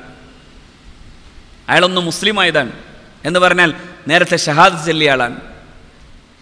അങ്ങനെ അബൂജഹൽ വിളിച്ചിട്ട് കളിയാക്കുകയും മുഹമ്മദിനെ സ്വീകരിച്ചു എന്ന് പറയുന്നുണ്ടല്ലോ എന്ന് പറഞ്ഞ് കളിയാക്കുകയും ആക്രമിക്കുകയും ചെയ്തപ്പോ ഞാൻ അങ്ങനെ വെറുതെ പറഞ്ഞതാണ്. എന്റെ അതിഥിയായി മുഹമ്മദ് വന്നപ്പോ സല്ലാഹു അലൈ വസ്ലം അദ്ദേഹത്തിന് ഭക്ഷണം കഴിക്കാൻ വേണ്ടിയിരുന്നപ്പോൾ അദ്ദേഹം ഒരു ഡിമാൻഡ് വെച്ച് മുസ്ലിം ആകണമെന്ന് അതിന്റെ പേരിൽ തൽക്കാലം ഞാൻ അങ്ങനെ ഷഹാത്ത് ചൊല്ലിയതാണ്. ഇനി നീ എന്ത് പറയുന്നു അത് ഞാൻ കേൾക്കാമെന്ന് പറഞ്ഞപ്പോ എന്നാൽ പരസ്യമായി മുഹമ്മദിനെ ആക്ഷേപിക്കുകയും പരസ്യമായി റസൂർല്ലാഹി സുല്ലാഹു അലൈഹി വസല്ലമ തങ്ങളുടെ മുഖത്തടിക്കുകയും നബിയെ ഉപദ്രവിക്കുകയും ചെയ്യണം എന്നാവശ്യപ്പെട്ടു. അങ്ങനെയാണ് മക്കയിൽ തവാഫ് നടത്തിക്കൊണ്ടിരിക്കുന്ന ഹബീബായ റസൂൽ സുല്ലാഹു അലൈഹി വസ്ലമ തങ്ങളെ കാണുമ്പോൾ നബി തിരുമേനി സുജൂതിൽ കിടക്കുമ്പോൾ അവിടെ കൊണ്ടുപോയി അവിടുത്തെ പരിശുദ്ധമായ പൂമേനിയിൽ അവിടുത്തെ കഴുത്തിൽ ഈ ഉഖബത്ത് ബിൻ അബി മുഅയ്ത് ലഅനത്തുല്ലാഹി അലൈഹി ലഅനത്തുല്ലാഹി അലൈഹി അള്ളാഹുവിന്റെ പ്രവാചകന്റെ പരിശുദ്ധ ശരീരത്തിൽ ഒട്ടകത്തിന്റെ കുടൽമാല വലിച്ചെറിയുന്നത്. അവനെയും അള്ളാഹുവിന്റെ റസൂൽ സല്ലാ അലൈഹി വസല്ലമ തങ്ങൾ കൊന്നു അതേസമയം പിന്നെ എന്താ ചെയ്തത്? ഈ യുദ്ധത്തിൽ നിന്ന് പിടിച്ചു കൊണ്ടുവരപ്പെട്ടവരെ മോചനദ്രവ്യം വാങ്ങിയിട്ട് അള്ളാഹുവിൻ റസൂൽ സൊല്ലാഹു അലൈഹി വസല്ലമ തങ്ങൾ മോചിപ്പിക്കുകയാണ് ചെയ്തത് എന്നതാണ് പരിശുദ്ധമായ ഈ ഈ പ്രവാചകൻ സൊല്ലാഹു അലൈഹി വസ്ലം തങ്ങൾ കാട്ടിയ മാനവികത. പത്ത് മക്കൾക്ക് നിങ്ങൾക്ക് ആർക്കെങ്കിലും പിന്നെ പഠിപ്പിച്ചു കൊടുക്കാനാകുമെങ്കിൽ അക്ഷരം പഠിപ്പിക്കുന്ന ആരെങ്കിലും ഉണ്ടെങ്കിൽ അവർക്ക് അത് മോചനദ്രവ്യമാണ് എന്ന് കൂട്ടാം. അതുവഴി മോചനം നൽകാം എന്ന് ഹബീബായ വസല്ലം. ബക്കറ്റ് വരുന്നുണ്ട് കേട്ടോ. ഇത് കാര്യങ്ങൾ കൂടുതൽ ഉണ്ടാകുമ്പോൾ ചില ചില ഓർമ്മകൾ കൂടുതലാകുമ്പോൾ ചില ആളുകൾ അടുത്തു വന്നിരിക്കുമ്പോൾ പ്രത്യേകം കൂടുതൽ സതക്ക ചെയ്യുക എന്ന് പറയുന്ന ഒരു സ്വഭാവമുണ്ട്. റമദാൻ വന്നപ്പോൾ റസൂൽ കൂടുതൽ സതക്ക ചെയ്തിരുന്നു. അതിൽ ഏറ്റവും കൂടുതൽ സതക്ക ചെയ്തിരുന്നത് ജിബ്രീലിന്റെ സാന്നിധ്യം ഉണ്ടായിരുന്നപ്പോഴാണ് എന്ന് ഹദീസുകളിൽ കാണും. അങ്ങനെയുണ്ട്. ജിബ്രീൽ അലൈഹി സ്വലാത്തു വസ്സലാം വന്നിരുന്നപ്പോൾ റസൂലുള്ളാഹി സ്വല്ലാഹു അലൈഹി വസല്ലമ തങ്ങൾ സ്വതക്ക ചെയ്തു കൂടുതൽ അജ്വദായി ഹബീബായ റസൂലുള്ളാഹി സ്വല്ലല്ലാഹു അലൈഹി എന്ന്. അപ്പൊ അതുകൊണ്ട് കാര്യമായി ഈ സംഘടനാ പ്രവർത്തനങ്ങൾക്ക് വേണ്ടിയുള്ളത് കൊടുക്കണമെന്ന് പ്രത്യേകമായി അപേക്ഷിക്കാൻ ഞാൻ പറഞ്ഞു വരുന്നത് ഈ യുദ്ധം കഴിഞ്ഞ് കിട്ടിയിട്ട് അള്ളാഹുവിൻ റസൂൽ സല്ലാഹു അലൈഹി വസല്ലമ തങ്ങൾ ചെയ്തത് പത്തക്ഷരം പഠിപ്പിച്ചു കൊടുക്കാൻ പറ്റുന്ന ആരെങ്കിലും ഉണ്ടെങ്കിൽ അവർക്ക് മോചനം നൽകാമെന്ന് മുഹമ്മദ് റസൂലുള്ളാഹി സല്ലാ വികാരഭരിതമായ മറ്റൊരു രംഗം കാണുന്നത് നബി തിരുമേനി സല്ലാഹു അലൈ വസല്ലമ തങ്ങളുടെ പുന്നാരമോൾ സൈനബ് അലി അള്ളാഹു താലാൻഹയുടെ ഭർത്താവായിരുന്ന ആസുബിനു റബീ അയാൾ ഇതുപോലെ പിടിക്കപ്പെട്ട ആളായിരുന്നു. ആസുബിനു റബീനെ പിടിക്കപ്പെട്ടു നബി തിരുമേനി സല്ലാഹു അലൈഹി വസല്ലമ തങ്ങൾ തടവ തടവ് പുള്ളിയായി പിടിക്കപ്പെട്ടിരുന്നു. അങ്ങനെ അള്ളാഹുബിൻ റസൂൽ സല്ലാഹു അലൈഹി വസല്ലമ തങ്ങളുടെ തടവ് പുള്ളിയായ ആസുബിനോട് മഹാനായ റസൂലുള്ളാഹി സ്വല്ലല്ലാഹു അലൈഹി വസല്ലമ തങ്ങൾ മോചനദ്രവ്യം ആവശ്യപ്പെട്ടു. മോചനദ്രവ്യമായി മോൾ കൊടുത്തയച്ചത് സൈനബ് അലി അള്ളാഹു താലാന കൊടുത്തയച്ചത് അവർ അവർക്ക് നബി തിരുമേനി സല്ലല്ലാഹു അലൈഹി വസല്ലമ തങ്ങൾ കൊടുത്തിരുന്ന മാലയാണ്. ആ മാലയുടെ പ്രത്യേകത ആ മാല ഖദീജ റലി അള്ളാഹു താലാൻഹയുടെ മാലയായിരുന്നു. അഷ്റഫുൽ ഖൽക്ക് ആ മാല കയ്യിൽ പിടിച്ചിട്ട് കരഞ്ഞിട്ട് ഖദീജയെ കുറിച്ച് ഓർത്തിട്ട് തന്റെ സഹാബാക്കളോട് പറയുന്ന രംഗം നമുക്ക് കാണാനാകും. ഈ മാല എന്റെ മോക്ക് തിരിച്ചു കൊടുക്കാൻ നിങ്ങൾ അനുവദിക്കുമെങ്കിൽ ഞാൻ തിരിച്ചു കൊടുക്കാം. ഇത് ഖദീജയുടെ മാലയാണ് എന്ന് മുഹമ്മദ് റസൂൽ അള്ളാഹി സ്വലം അങ്ങനെ ആസിനെ മോചിപ്പിക്കുകയും മോളെ ഇങ്ങോട്ട് തിരിച്ചു തരണം എന്ന് ഡിമാൻഡ് ചെയ്യുകയും ചെയ്യുകയും അങ്ങനെ സൈനബിനെ നബി തിരുമേനി സല്ലാഹു അലൈഹി വസല്ലമ തങ്ങൾക്ക് മദീനയിലേക്ക് ഇദ്ദേഹം കൊടുത്തയക്കുകയും ചെയ്തു എന്ന് ചരിത്രത്തിൽ നമുക്ക് കാണാൻ സാധിക്കുന്നുണ്ട്. ഈ തടവ് പുള്ളികളോട് കാട്ടിയ ഈ മര്യാദ നമ്മൾ ആലോചിക്കുമ്പോൾ ബദറിന്റെ രണാങ്കളത്തിലെല്ലാം നമ്മൾ കാണുന്ന ഈ മാനവികമായ ഈ ഒരു കാര്യം ഇവിടെ വിജയിച്ചത് ഞാൻ പറയുന്നു അള്ളാഹുവിന്റെ റസൂൽ സൊല്ലാഹു വസല്ലമ തങ്ങളോടുള്ള ഈ പരിശുദ്ധ സ്വഹാബത്തിന്റെ ബന്ധമാണ്. അതുകൊണ്ട് തന്നെ ഏത് യുദ്ധങ്ങളിലെ സുഹതാക്കളെക്കാളും ഏത് യുദ്ധത്തിൽ പങ്കെടുത്തവരെക്കാളും കൂടുതൽ ബദറിൽ പങ്കെടുത്തവർക്ക് അള്ളാഹു സുബാനുഹത്തല ചില പ്രത്യേകതകൾ നൽകിയിരുന്നു. ചില പ്രത്യേകതകൾ. അവരെന്ത് തെറ്റ് ചെയ്താലും ആഹ്റത്തിൽ അള്ളാഹു ശിക്ഷിക്കൂല. ദുനിയാവിൽ ഒരു ഗവൺമെന്റ് ശിക്ഷിക്കൂല എന്നല്ല പറഞ്ഞത് ആഹ്റത്തിൽ അള്ളാഹു ശിക്ഷിക്കുമായിരുന്നില്ല. അങ്ങനെ അള്ളാഹു സുബാനു തല പുറത്തു കൊടുത്തു. അതിലൊരു സന്ദർഭം ഹാത്തിബുബിന് അബി ഹാത്തിബിന് ബൽത്താത്ത് അലി അള്ളാഹു താലാൻ ഹാത്തിബ് അലി അള്ളാഹു താലാൻഹു നബി തിരുമേനി സല്ലല്ലാഹു അലൈഹി വസല്ലമ തങ്ങളുടെയും സഹാബത്തിന്റെയും യുദ്ധ നീക്കങ്ങളെ കുറിച്ച് ഒരു രഹസ്യം ശത്രുക്കൾക്ക് കൊടുത്തയക്കാൻ സാറ എന്നു പേരുള്ള ഒരു പെണ്ണിന്റെ കയ്യിൽ അള്ളാഹുവിന്റെ പ്രവാചകന്റെ ഈ സ്വഹാബി ഒരു കത്ത് കൊടുത്തയക്കുന്നുണ്ട്. മഹാനായ അലീബിൻ അബി താലിബ് തങ്ങളും സുബൈർ റബി അള്ളാഹു താലാൻഹുവിനെയും ഏൽപ്പിച്ചുകൊണ്ട് നബി തിരുമേനി സല്ലല്ലാഹു അലൈഹി വസ്ലം അത് പിടികൂടാൻ വേണ്ടി ആവശ്യപ്പെടുകയും ഹാ തോട്ടത്തിൽ വെച്ച് അത് പിടികൂടാൻ നബി തിരുമേനി സല്ലല്ലാഹു അലൈഹി സ്വലമാ തങ്ങൾ പറയുകയും അവളുടെ എല്ലാവിധ അടയാളങ്ങളും നബി തിരുമേനി സല്ലല്ലാഹു അലൈഹി സ്വലമാ തങ്ങൾ പറഞ്ഞു കൊടുക്കുകയും ചെയ്യുന്നുണ്ട്. അങ്ങനെ അവിടെ വെച്ച് പിടികൂടവൻ അലീബിൻ അബി താലിബ് തങ്ങളും സുബൈർ അലി അള്ളാഹു താലാനും മൂന്നംഗ സംഘമാണ് പോയത്. മഹാന്മാരായ സഹാബാക്കൾ ചെല്ലുന്നു. ഇവളെ തടഞ്ഞു നിർത്തിയിട്ട് അള്ളാഹുവിന്റെ റസൂൽ ഞങ്ങളോട് പറഞ്ഞിരിക്കുന്നു നിന്റെ കയ്യിൽ ഒരു കത്തുണ്ടെന്ന് ആ കത്ത് തിരിച്ചു തരണം എന്നാവശ്യപ്പെട്ടു കത്ത് തരാൻ തയ്യാറാകാതെ വന്നപ്പോൾ അലീബിൻ അബി താലിബ് തങ്ങൾ ഒന്നൊക്കെ പരിശോധിച്ച് നോക്കിയിട്ട് കിട്ടാതെ വന്നപ്പോൾ അലി റലി അള്ളാഹുന് പറഞ്ഞു ഒന്നുകിൽ കത്ത് തരണം. റസൂർല പറഞ്ഞു നോണയാവൂല ഇല്ലെങ്കിൽ നിന്റെ തുണി അഴിച്ചിട്ട് എവിടെയാണ് നീ കത്തൊളിപ്പിച്ചത് എന്ന് നോക്കേണ്ടി വരും? നിർബന്ധമാണ് എന്ന് പറഞ്ഞപ്പോഴാണ് അവൾ അവളുടെ മുടിക്കെട്ടിൽ നിന്ന് ഈ ഈ കത്തെടുത്തു കൊടുത്തു എന്നാണ്. ചില റിപ്പോർട്ടുകളിൽ കാണാം മടിക്കുത്തിൽ നിന്നാണെന്നാണ് മടിക്കുത്തിൽ നിന്ന്. ഏതായാലും ഈ കത്ത് അള്ളാഹുവിൻ റസൂൽ സല്ലാഹു അലൈഹി വസ്ലമാ തങ്ങൾക്ക് എത്തിച്ചു കൊടുത്തപ്പോ ഈ കത്ത് എഴുതിയ ആളെ കൊണ്ടുവരപ്പെട്ടു ഹാത്തിബ് അലി അള്ളാഹു താലാനുവാണ് ഹാത്തിബിൻ അബീബ് അൽ അലി അള്ളാഹു താലാനുവിനെ ഹാജരാക്കപ്പെട്ടുകൊണ്ട് നബി തിരുമേനി സല്ലാഹു അലൈഹി വസ്ലമാ തങ്ങൾ ചോദിക്കുന്നുണ്ട് എന്താ ഹാത്തിബ് എന്താ സംഭവിച്ചത്? എന്ന്. നബി തിരുമേനി സല്ലാഹു അലൈ വസ്ലമ തങ്ങളോട് വിശദീകരിക്കുന്നതിന് മുമ്പ് മഹാനായ ഉമർ ബിൻ ഖത്താബ് അലി അള്ളാഹു താലാനുഹു ഹാത്തിബിനെ വിശദീകരിക്കാനൊന്നും നിർത്തേണ്ട നബിയെ അവൻ എങ്ങോട്ടൊന്ന് പറഞ്ഞു വിട്ടാൽ എന്ന് പറഞ്ഞു മഹാനായ ഉമർ ബിൻ ഖത്താബ് റളിയല്ലാഹു അൻഹു. ഒന്നും നീ വിശദീകരിക്കാനൊന്നും നിൽക്കണ്ട. നിങ്ങൾ ഇനി വിശദീകരിച്ചിട്ട് അവനെ ഈ പിന്നെ നന്നാക്കാൻ നോക്കണ്ട. അതുകൊണ്ട് ഇങ്ങോട്ട് വിട്ടാൽ ഞാൻ അവന്റെ ഉനുഖഹു ഞാൻ അവന്റെ കഴുത്ത് വെട്ടിയേക്കാം എന്ന് പറഞ്ഞു ഉമർ ബിൻ ഖത്താബ് റളിയല്ലാഹു അൻഹു. അത് കേട്ടപ്പോൾ അള്ളാൻ റസൂലിന് വല്ലാതെ വല്ലാതെ വേദന തോന്നി. നബി തിരുമേനി സല്ലല്ലാഹു അലൈഹി വസല്ലം തങ്ങൾ ഉമർ ബിൻ ഖത്താബിനോട് ചോദിച്ച ചോദ്യം ഇതാണ്. അല്ല ഉമറെ എന്ത് മനസ്സിലാക്കിയിട്ടാണ് നീ ഇങ്ങനെയൊക്കെ പറയുന്നത്?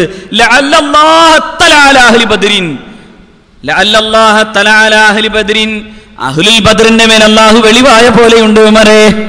ഇദ്ദേഹം അള്ളാഹുവിന്റെ പരിശുദ്ധ ദീനിന് വേണ്ടി ബദറിൽ രണാങ്കുളത്തിൽ പോരടിച്ച മനുഷ്യനാണ് ഹാത്തിബിൻ അബീബ് അൽത്താത്ത് ആ ഹാത്തിബിന് അബീബ് അൽത്താത്ത് അലി അള്ളാഹു അൻഹു. അങ്ങനെ തെറ്റ് ചെയ്താൽ ഉമറെ അദ്ദേഹത്തെ കൊല ചെയ്യാൻ എങ്ങനെ സാധിക്കും? അദ്ദേഹം ബദിരീങ്ങളിൽ പെട്ട ആളാണ്. അതുകൊണ്ട് തന്നെ ഉമറെ അഹ്ലു ബദരിൻ.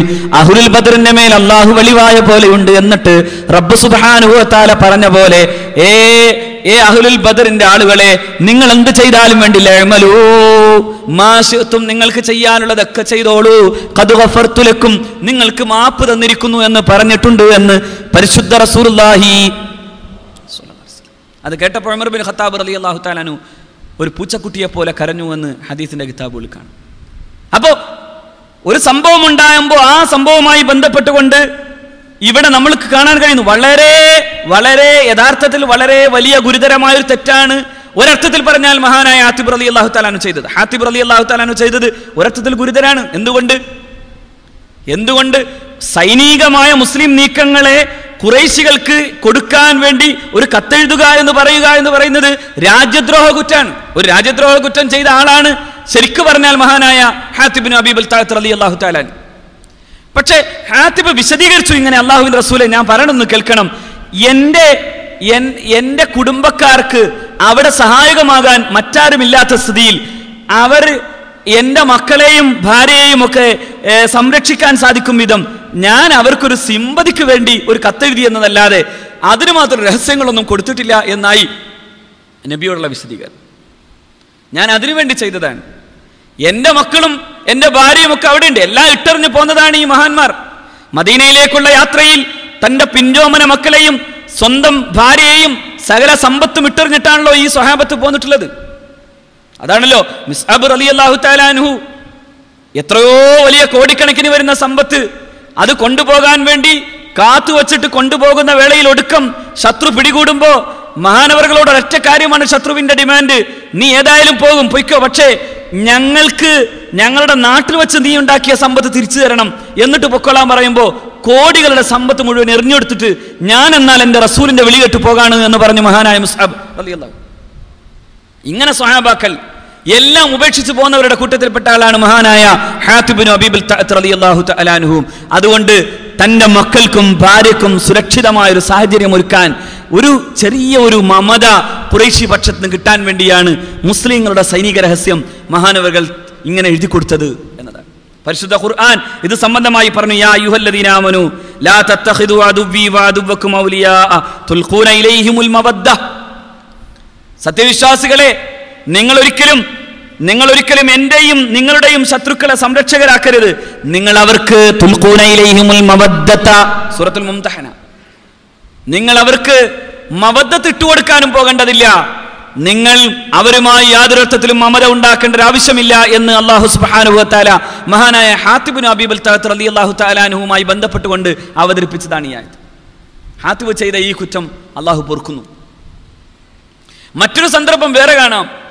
മഹദി ആയിഷ ബീബി അലി അള്ളാഹു താലാൻഹ ആയിഷ ബീവിയെയും സഫ്വാൻ അലി അള്ളാഹു താലാനുവിനെയും ബന്ധപ്പെട്ടുകൊണ്ട് അവരുടെ യാത്രയിൽ എന്തൊക്കെ ഉണ്ടായി എന്ന രൂപത്തിൽ അപവാദം പ്രചരിപ്പിച്ചപ്പോ അപവാദങ്ങളൊന്നും അറിയാത്ത ആയിഷ ബീവി പനിച്ചിട്ട് നബി തിരുമേനി സല്ലല്ലാഹു അലൈഹി വസല്ലമയുടെ വസതിയിൽ വെച്ച് മിസ്തഹ് അലി അള്ളാഹു താലാനയുടെ അനുഹുവിന്റെ ഉമ്മ ഉമ്മ മിസ്തഹ് അവരോടൊപ്പം തന്റെ പ്രാഥമികമായ ആവശ്യങ്ങൾ രാത്രിയിൽ നിർവഹിക്കാൻ വേണ്ടി പോകുന്ന ഒരു സന്ദർഭമുണ്ട്. അന്ന് പെണ്ണുങ്ങൾ രാത്രിയിൽ ടോയ്ലറ്റ് ഇല്ലാത്തത് കൊണ്ട് രാത്രിയിലാണ് തന്റെ കാര്യങ്ങളൊക്കെ നിർവഹിക്കുക പനിച്ചതുകൊണ്ട് അവശയായിരുന്നു അവർ. അങ്ങനെ ആ പനിക്കിടക്കയിൽ നിന്ന് ഉമ്മു മിസ്തഹിന്റെ കൂടെ യാത്ര ചെയ്യുമ്പോൾ തിരിച്ചു പോരുന്ന സമയത്ത് ഒരു ഒരു ഒരു കല്ലിൽ തട്ടിയിട്ട് മഹദി ആയിഷ ബീബർ അലി അള്ളാഹു താലാനെ ഒന്ന് വീഴാൻ പോയപ്പോൾ ഉമ്മ മിസ്തഹ് ഇങ്ങനെ പ്രാർത്ഥിച്ചു മിസ്തഹിന് നാശം എന്ന് പറഞ്ഞു. അപ്പോൾ ആയിഷ അലി അള്ളാഹു താലാൻ ചോദിക്കുന്നുണ്ട് മിസ്തൈനെ കുറിച്ച് അങ്ങനെ പറയാമോ?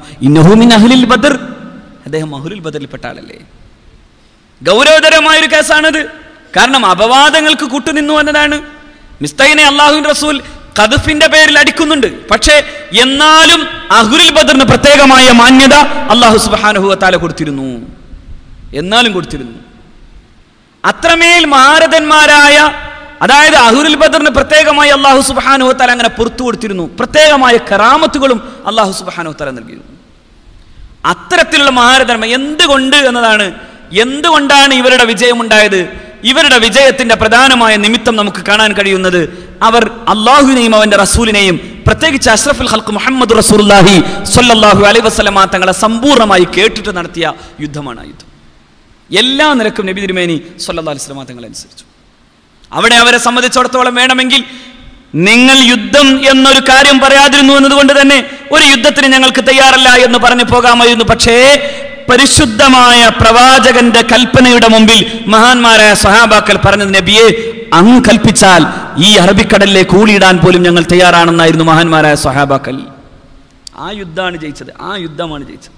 ഇവിടെ ചില ആളുകൾ സമുദായത്തെ രക്ഷപ്പെടുത്താൻ വേണ്ടി പോകണുണ്ടല്ലോ അവർ വലിയ കവാത്തൊക്കെ നടത്തിയിട്ട് സമുദായത്തെ രക്ഷപ്പെടുത്താൻ നോക്കുമ്പോൾ ഇത് കവാത്ത് നടത്തിയ വിജയമല്ല മുഹമ്മദ് നബി അനുസരിച്ചതിന്റെയും മുഹമ്മദ് നബിയോടുള്ള ഹുബിന്റെയും വിജയമാണ് ബദറിൽ അള്ളാഹു കാട്ടിത്തന്നത്. യഥാർത്ഥത്തിൽ അവിടെ നിങ്ങളല്ല കൊന്നത് ഞാനാണ് കൊന്നത് എന്ന് ഖുർആൻ തന്നെ പറയുന്നു.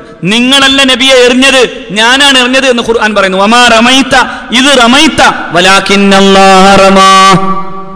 അവിടെ നിന്ന് കുറച്ച് പൊടിയെടുത്തിട്ട് മണ്ണെടുത്തിട്ട് ശത്രുപക്ഷത്തേക്ക് ഒരു ഏറ് കൊടുത്തപ്പോൾ ജിബ്രിൽ അലൈഹി സ്വലാത്തു വസ്സലാം അള്ളാൻ അത് ആവശ്യപ്പെട്ട പ്രകാരം ഒരു ഏറാൻ കൊടുത്തപ്പോൾ എല്ലാ മനുഷ്യരുടെയും കണ്ണുകളിലേക്ക് അത് വീഴുകയും അവർക്കൊക്കെ ഓരോരുത്തർക്കും കണ്ണിന് അതിന്റെ ബുദ്ധിമുട്ടുണ്ടാവുകയും ചെയ്തു എന്നാണ്.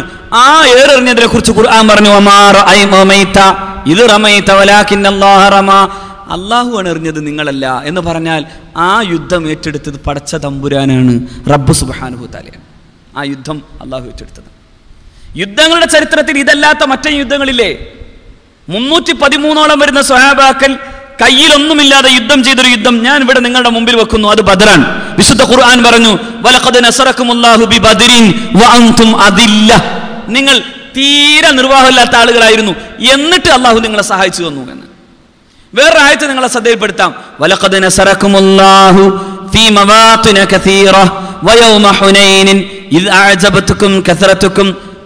ഫലം തുകനിയാൻകും ഫലം തുകനിയാൻകും ഖുർആൻ ഇവിടെ പറയുന്നത് ഇതാണ്. വലഖദ് നസറക്കുമുല്ലാഹു ഫീ മവാത്തുന കസീറ. ഒരുപാട് സ്ഥലങ്ങളിൽ അള്ളാഹു നിങ്ങളെ സഹായിച്ചു. വയൗമ ഹുനൈനിൻ ഹുനൈൻ യുദ്ധത്തിലും നിങ്ങളെ സഹായിച്ചു. ഇത് ആഴ്ചബത്തുക്കും കസറത്തുക്കും നിങ്ങളുടെ ആധിക്യം നിങ്ങളെ വല്ലാതെ പൊങ്ങച്ചപ്പെടുത്തിയിരുന്നുവെങ്കിലും ഫലം തുകനിയാൻകും ഷൈആ. അതൊരു ചുക്കും നിങ്ങളെ ചെയ്തില്ല എന്ന് മാത്രമല്ല.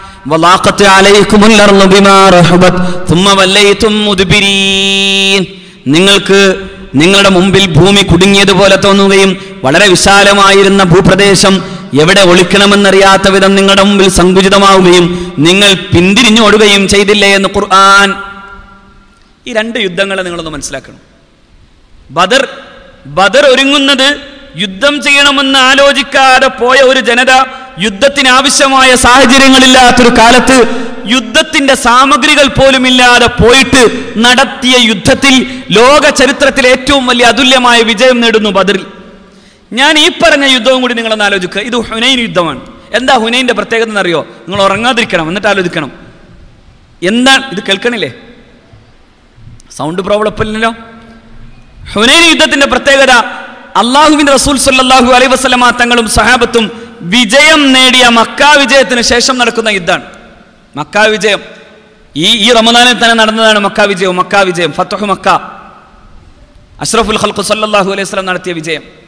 മക്ക വിജയത്തിന്റെ പ്രത്യേകതയും പതിനായിരത്തോളം വരുന്ന അനുയായികളുമായി മുഹമ്മദ് റസൂലുള്ളാഹി സ്വല്ലല്ലാഹു അലൈഹി വസല്ലമ തങ്ങൾ മക്കയിൽ ചെല്ലുകയും അവിടെ ഒരു ഒരു ചുള്ളി തോര ചോര പോലും വീഴാതെയാണ് ലോക ചരിത്രത്തിന് അത്ഭുതമാകുന്ന ഈ വിജയം അള്ളാഹു റസൂൽ സല്ലാസ്ലം നേടിയെടുത്തത്. പതിനായിരം അനുയായികൾ. രണ്ടായിരം വരുന്ന ശത്രുക്കൾ നബി നേരെ നോക്കിയിട്ട് അവരോട് അള്ളാൻ റസൂൽ സല്ലാഹു അലൈഹി വസല്ലം പറഞ്ഞത് ലാ തസ്രീബ ലാ തസ്രീബ അലൈക്കുമുൽ യൗം. ഇന്ന ദിവസം നിങ്ങളോട് പ്രതികാരമില്ല. ഇദ്ഹബു അന്തും തുലഖാ. പൊയ്ക്കൊള്ളൂ നിങ്ങൾ സ്വതന്ത്രരാണ് എന്ന് മുഹമ്മദ് റസൂലുള്ളാഹി സല്ലാഹു അലൈഹി വസല്ലം. നിങ്ങൾക്ക് പോകാം നിങ്ങൾ സ്വതന്ത്രരാണ്. ആ യുദ്ധത്തെ നോക്കിക്കണ്ട പ്രഗത്ഭനായ സ്റ്റാൻലി ലൈൻപൂൾ എന്ന് പറയുന്ന ചരിത്രകാരൻ എഴുതുന്നുണ്ട് നബി തിരുമേനി കടന്നു വന്ന ചരിത്രം. മുഹമ്മദ് എന്റെ മുഹമ്മദ് നബി കടന്നു വന്നു. പക്ഷേ ഒരു പെണ്ണും ബലാത്കാരത്തിന് വിധേയമാക്കപ്പെട്ടില്ല. No women was raped no house was robbed ഒരു പെണ്ണും ബലാത്കാരത്തിന് വിധേയമാക്കപ്പെട്ടില്ല. ഒരു ഒരു ഒരു വീടും കൊല്ല കൊള്ളയടിക്കപ്പെടുകയും ചെയ്തില്ല. However the peoples were treated with special magnanimity എന്തോ ആ ജനത മുഴുവനും മഹാമനസ്കത കൊണ്ട് പരിചരിക്കപ്പെടുകയായിരുന്നു. No one through all the annals of congress there is no time entry comparable to this one എന്ന് ഈ ചരിത്രകാരൻ വിശേഷിപ്പിക്കുന്നത് കാണാം. മനുഷ്യവംശത്തിന്റെ ചരിത്രത്തിൽ ഇങ്ങനെ ഒരു ദിഗ്വിജയം ഇങ്ങനെ ഒരു വിജയം ഇങ്ങനൊരു വിജയം മനുഷ്യവംശത്തിന്റെ ചരിത്രത്തിൽ ഉണ്ടായിട്ടില്ല. യുദ്ധങ്ങൾ എത്ര ചെയ്തു? ലോക ചരിത്രത്തിൽ എത്ര സൈന്യാധിപന്മാരുടെ യുദ്ധങ്ങൾ? കലിംഗ യുദ്ധം ചെയ്ത ബുദ്ധ ശിഷ്യനായി മാറിയ അശോകൻ കൊന്നൊടുക്കിയവർക്ക് മുമ്പിൽ മാപ്പ് പറയാൻ ആളില്ലാത്ത വിധം ലക്ഷക്കണക്കിന് മനുഷ്യരെയാണ് ഈ ഇന്ത്യ മഹാരാജ്യത്ത് കൊന്നത് കലിംഗ യുദ്ധത്തിലൂടെ. ലക്ഷക്കണക്കിന് മനുഷ്യരെ. ആ മനുഷ്യരുടെ ബന്ധുക്കൾ പോലുമില്ലാത്ത വിധം മുഴുവൻ പേരെയും കൊന്നൊടുക്കിയിട്ട് അവസാനം ആ കൊലപാതകത്തിൽ പരിതപിച്ചിട്ടാണത്രേ ബുദ്ധനായി മാറാൻ അതായത് ബുദ്ധ ശിഷ്യനായി മാറാൻ അശോക ചക്രവർത്തി തയ്യാറായത് എന്നാണ്. അശോകൻ ശോകമില്ലാത്തവനായ അശോകന്റെ ശോകമാണ് പിന്നീട് അദ്ദേഹത്തെ ബുദ്ധ ശിഷ്യനാക്കി മാറ്റിയത്. യഥാർത്ഥത്തിൽ ലക്ഷങ്ങളുടെ കൊലപാതകത്തിന് ശേഷമാണ്. എല്ലാ സൈനിക ചരിത്രത്തിലും നമുക്കിത് കാണാം. യുദ്ധവും സമാധാനമൊക്കെ പറയുമ്പോൾ പരിശുദ്ധ ദീനിനെയും മുഹമ്മദ് നബിയെയും ഒക്കെ സൊല്ലാഹു അലൈ വസ്ലം കൊണ്ടുവന്ന് കുറ്റപ്പെടുത്തുന്നവർ ആലോചിക്കേണ്ടത് ഈ പ്രവാചകൻ ആദ്യം നടത്തിയ യുദ്ധത്തിൽ ആകെ കൊല്ലപ്പെട്ടത് തുച്ഛമാളുകൾ മൊത്തം യുദ്ധങ്ങളിൽ കൊല്ലപ്പെട്ടത് എല്ലാ പക്ഷങ്ങളിൽ നിന്നും കൂടി ആയിരത്തി ഇരുന്നൂറ്റി എട്ടോളം വരുന്ന ആളുകൾ മാത്രം ആയിരത്തി എഴുന്നൂറ്റി ഇരുപത്തിയെട്ട് ആളുകളാണ് ഈ യുദ്ധങ്ങളിലെല്ലാം കൂടി ആകെ കൊല്ലപ്പെട്ടത്. എന്നാൽ ലോക ചരിത്രത്തിലെ ചില യുദ്ധങ്ങളിൽ കൊല്ലപ്പെട്ടത് എങ്ങനെയാ?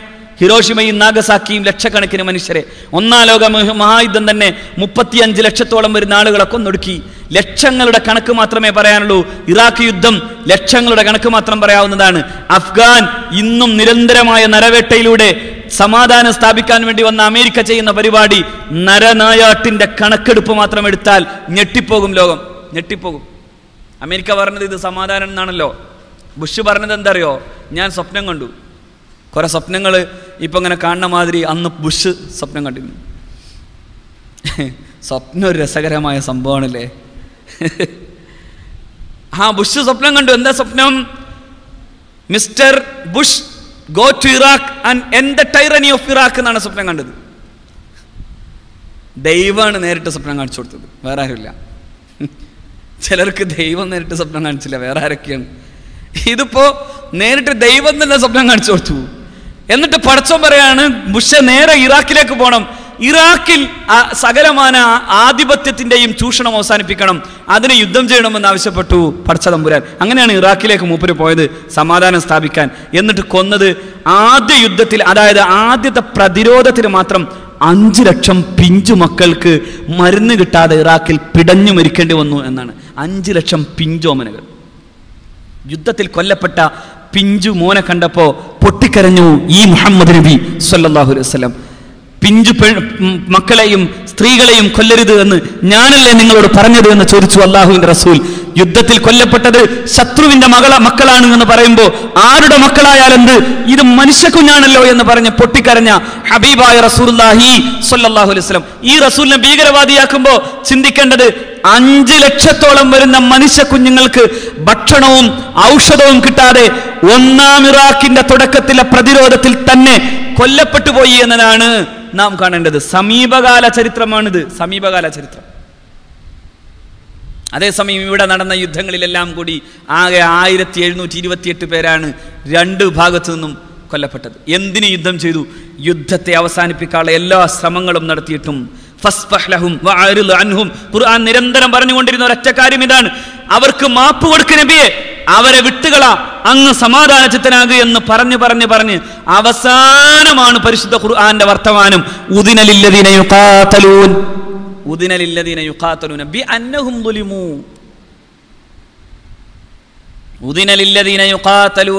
ബി അന്നഹും ആക്രമിക്കപ്പെട്ടു എന്നതിന്റെ പേരിൽ യുദ്ധം ചെയ്യപ്പെടുന്ന ആളുകൾക്ക് യുദ്ധം അനുവദിക്കപ്പെട്ടു. ആ പ്രയോഗങ്ങൾ ഓരോന്നും ശ്രദ്ധിച്ച നല്ലതാ ഉദിന അനുവദിക്കപ്പെട്ടു. ആർക്ക്? ലില്ലദീന യുക്കാത്തലൂന യുദ്ധം ചെയ്യപ്പെടുന്നവർക്ക്. എന്തിന്റെ പേരിൽ? ബി അന്നഹും ദുലിമു അവർ ആക്രമിക്കപ്പെട്ടു എന്നതിന്റെ പേരിൽ. എല്ലാം മഫൂലാണ്. എല്ലാം മജ്ഹൂലാണ്. എല്ലാം മജ്ഹൂലാണ്. അവിടെ യഥാർത്ഥത്തിൽ എല്ലാം അവിടെ കർത്താവില്ലാതെ അതായത് കർത്താവ് ശത്രുവാണ്. ഇവിടെ മഫൂൽ മഹാന്മാരായ മുഅ്മിനീങ്ങളുമാണ്. നോക്കൂ അവിടെ. അതായത് യുദ്ധം ചെയ്യാനല്ല ആവശ്യപ്പെട്ടത് യുദ്ധം ചെയ്യപ്പെടുന്നവർക്ക് തിരിച്ചടിക്കാൻ അനുവാദം നൽകുകയാണ് ചെയ്തത്. ഉദീന അനുവദിക്കപ്പെട്ടു. ലില്ലദീന യുക്കാത്തലൂന യുദ്ധം ചെയ്യപ്പെടുന്നവർ അല്ലെങ്കിൽ പറയേണ്ടിരുന്നത് ലില്ലദീന യുക്കാത്തിലൂന എന്നാണല്ലോ. അവിടെ പറഞ്ഞത് യുക്കാത്തലൂന എന്നാണ്. യുദ്ധം ഇങ്ങോട്ട് അനുഭവിക്കപ്പെടുമ്പോൾ ഇനി രക്ഷയില്ലെങ്കിൽ ചെയ്യണം തിരിച്ചടിക്കണം. ബി അന്നഹും. ആക്രമിക്കപ്പെട്ടതിന്റെ പേരിൽ യുദ്ധം ചെയ്യണം. അല്ലാഹു റബ്ബുൽ ഇസ്സത്ത് അവരെ സഹായിക്കാൻ മാത്രം പോന്നവനാണ്. ഈ പാവങ്ങൾ അള്ളാഹുവിന്റെ പേരുച്ചരിക്കുകയും അള്ളാഹു ആണ് ഞങ്ങളുടെ നാഥൻ എന്ന് പറയുകയും ചെയ്തതിന്റെ പേരിൽ മാത്രം ആക്രമിക്കപ്പെടുമ്പോൾ ആ ആക്രമണത്തിനെതിരായ ഒരു ഒരു പ്രതിരോധം തീർക്കണം എന്ന് മാത്രമാണ് ഖുർആാനോട് ആവശ്യപ്പെട്ടത്.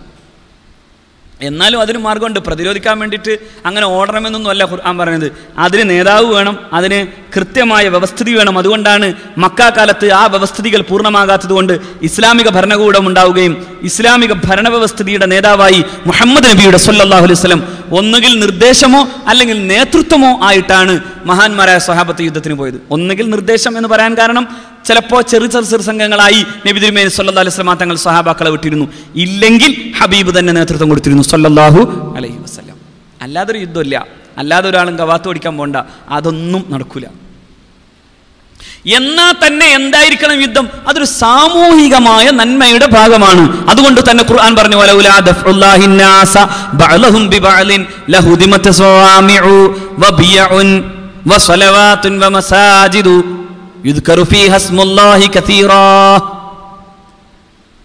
നോക്കൂ ചില ആളുകളെ പ്രതിരോധിച്ചില്ലെങ്കിൽ ഉണ്ടാകാവുന്നത് അവർ നാശകാരികളായി മാറുമ്പോൾ നാട്ടിൽ ഏത് മതവിഭാഗത്തിൽപ്പെട്ടവനും ജീവിക്കാനാവാതെ പോകും. ഇല്ലെങ്കിൽ അവിടെ പറയുന്നത് ഈ ഈ സന്യാസിവര്യന്മാരുടെ പർണശാലകൾ തകർക്കപ്പെടും എന്നാണ്. സിനഗോഗുകൾ തകർക്കപ്പെടും എന്നാണ്. ചർച്ചുകൾ തകർക്കപ്പെടും എന്നാണ്. ക്ഷേത്രങ്ങൾ തകർക്കപ്പെടുമെന്നാണ്. പിന്നെ പള്ളികൾ തകർക്കപ്പെടുമെന്നാണ്. ആ പള്ളികളിൽ ഫി ഹസ്മുല്ലാഹി കസീറ അള്ളാഹുവിന്റെ നാമങ്ങൾ ഒരുപാട് പറയപ്പെടുന്ന പള്ളികൾ. എന്നിട്ട് യുദ്ധം എന്ന് പറഞ്ഞാൽ അതൊക്കെ അള്ളാഹുവിന്റെ ദീനും മുഹമ്മദ് നബി മാത്രം നടത്തിയതായിട്ട് സ്വല്ലം വസല്ലം പറയാം. എന്നങ്ങനെയല്ല ഗീത തുടങ്ങുന്നത് തന്നെ യുദ്ധം പറഞ്ഞിട്ടാണ്. ഭഗവത്ഗീത തുടങ്ങുന്നത് തന്നെ യുദ്ധം പറഞ്ഞിട്ടാണ്. യുദ്ധത്തിന്റെ മുമ്പിൽ നിൽക്കുമ്പോൾ അവശനായി തന്റെ പിതാമഹനെയും തന്റെ ഗുരുവര്യനെയും കൊന്നെടുക്കാനാവാത്ത വിസമ്മതം പ്രകടിപ്പിച്ച് നിൽക്കുന്ന അർജുനന്റെ മുമ്പിൽ നീ യുദ്ധം ചെയ്യണമെന്ന് ആവശ്യപ്പെട്ടുകൊണ്ടാണ് ഗീത ശ്രീകൃഷ്ണൻ ഉപദേശിച്ചു കൊടുക്കുന്നത്. അർജുനൻ നോക്കുന്നു രണ്ടുപേർ ഒന്ന് ഭീഷ്മാചാര്യർ അതായത് പിതാമഹൻ. മറ്റൊരാൾ ദ്രോണൻ ഉസ്താദ് ഗുരു ഗുരു ഗുരുവിനെതിരെ ഗുരുത്തക്കേട് കാട്ടാൻ പറ്റുമെന്നാണ് ആദ്യം ഇയാൾ ചോദിച്ച ചോദ്യം. ലോകത്ത് ചോദിക്കേണ്ട ചോദ്യം അതാണ് ഗുരുത്തക്കേട് കാട്ടാൻ പറ്റുമെന്നാണ്. ആ ചോദ്യമാണ് അയാൾ ചോദിച്ചത്. കഥം ഭീഷ്മമഹം സംഗേ ദ്രോണം ച മധുസൂദന യശുഭി പ്രതിയോത്സ്യാമി പൂജാർഹൗ അരുസൂദന. എങ്ങനെ യുദ്ധം ചെയ്യും? ഞാൻ എങ്ങനെ യുദ്ധം ചെയ്യും? കഥം എങ്ങനെ? ഭീഷ്മം ഭീഷ്മ പിതാമഹരോട് അഹം സംഖ്യേ ഞാൻ എങ്ങനെ യുദ്ധം ചെയ്യും? ഞാൻ എങ്ങനെ ദ്രോണാചാര്യരോടും യുദ്ധം ചെയ്യും? അവർ രണ്ടുപേരും എന്നെ സംബന്ധിച്ചിടത്തോളം മഹാന്മാരാണ്.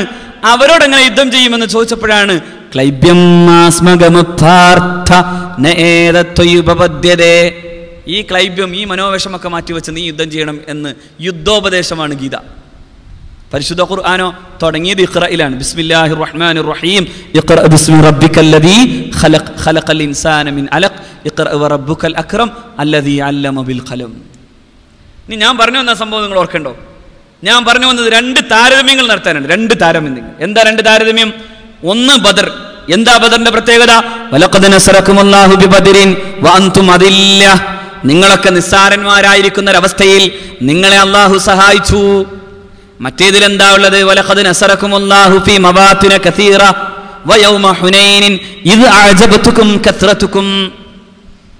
നിങ്ങളെ ഹുനൈനിൽ നിങ്ങൾ ആളാണ് എന്ന തോന്നലുണ്ടായ സമയത്ത് അള്ളാഹു സഹായിച്ച സംഭവം.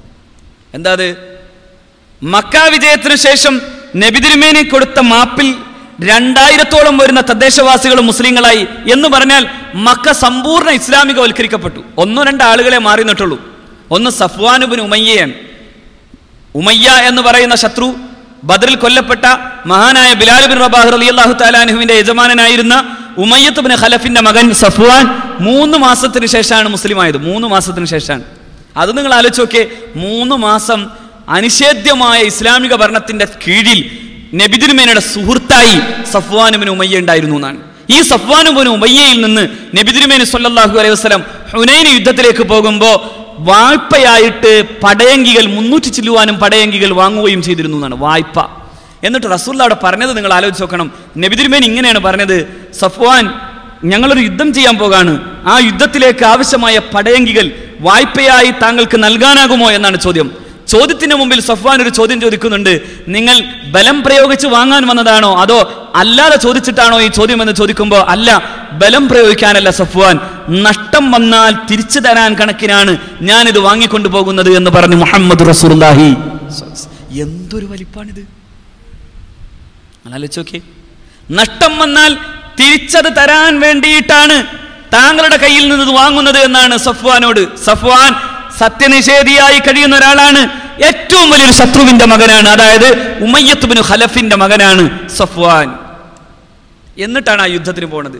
ഏതാണ്ട് എണ്ണായിരത്തിൽ ചെല്ലുവാനും വരുന്ന ശത്രുക്കളെ മറുഭാഗത്തുള്ളൂ. പതിനായിരം പ്ലസ് രണ്ടു കൂടി പന്ത്രണ്ടായിരം വരുന്ന മുഗ്മിനിയങ്ങളായ സ്വഹാബത്ത് നബിതിരുമേനി സല്ലാഹുലി വസല്ലം തങ്ങളുടെ കൂടെയുണ്ട്. എണ്ണായിരത്തോളം പടയങ്കികൾ തന്നെ അന്ന് അള്ളാൻ റസൂൽ യുദ്ധ ഫണ്ടിന് വേണ്ടി പിരിവ് നടത്തിയപ്പോൾ കിട്ടിയെന്നാണ്. എണ്ണായിരത്തോളം പടയങ്കികൾ തന്നെ. ഒരു ഭാഗത്ത് യുദ്ധം ചെയ്യാൻ കയ്യിൽ വാളില്ലാതെ പോയ ഒരു ജനതയുടെ ചരിത്രം മറുഭാഗത്ത് യുദ്ധം ചെയ്യാൻ ആവശ്യത്തിലധികം സാമഗ്രികളുള്ള പന്ത്രണ്ടായിരത്തോളം വരുന്ന സ്വഹാബത്താണ് ഹബീബായ റസൂൽ സല്ലാഹു അലൈഹി സ്വലമയുടെ കൂടെ പോകുന്നത്. ഈ രണ്ടും ഞാൻ നിങ്ങളുടെ മുമ്പിൽ വെക്കുന്നത് ബദർ എന്ത് പാഠം നൽകുന്നു എന്നും എന്താണ് മുസ്ലിം ഇവന്റെ വർത്തമാന ജീവിതത്തിലും അവന്റെ ജീവിതത്തെ നേരെയാക്കാൻ വേണ്ടി പഠിക്കേണ്ടത് എന്നൊരു പാഠം നൽകാനാണ്. നിങ്ങൾ ശരിക്കും ആലോചിക്കേണ്ടതാണ് ഏതാണ്ട് എണ്ണായിരത്തി ചില്ലുവാനും വരുന്ന ശത്രുക്കൾ. പന്ത്രണ്ടായിരത്തോളം മുസ്ലിങ്ങൾ എണ്ണായിരത്തോളം പടയങ്കികൾ തന്നെ സുലഭമായി മുഹമ്മദ് നബിക്ക് കിട്ടിയിരുന്നു സല്ലല്ലാഹു അലൈഹി വസല്ലം. എല്ലാവർക്കും ആയുധങ്ങൾ വളരെ ധീരമാണ്. അപ്പോൾ അവരുടെ മനസ്സിൽ ഇങ്ങനെ മന്ത്രിച്ചിരുന്നു എന്ന് ഹദീസുകളിലും മുഫസ്രിങ്ങളും വിശദീകരിക്കുന്നു. ലന്നുലബഹാദല്യവും ഇന്ന് നമ്മൾ പരാജയപ്പെടില്ല ആരാ നമ്മൾ?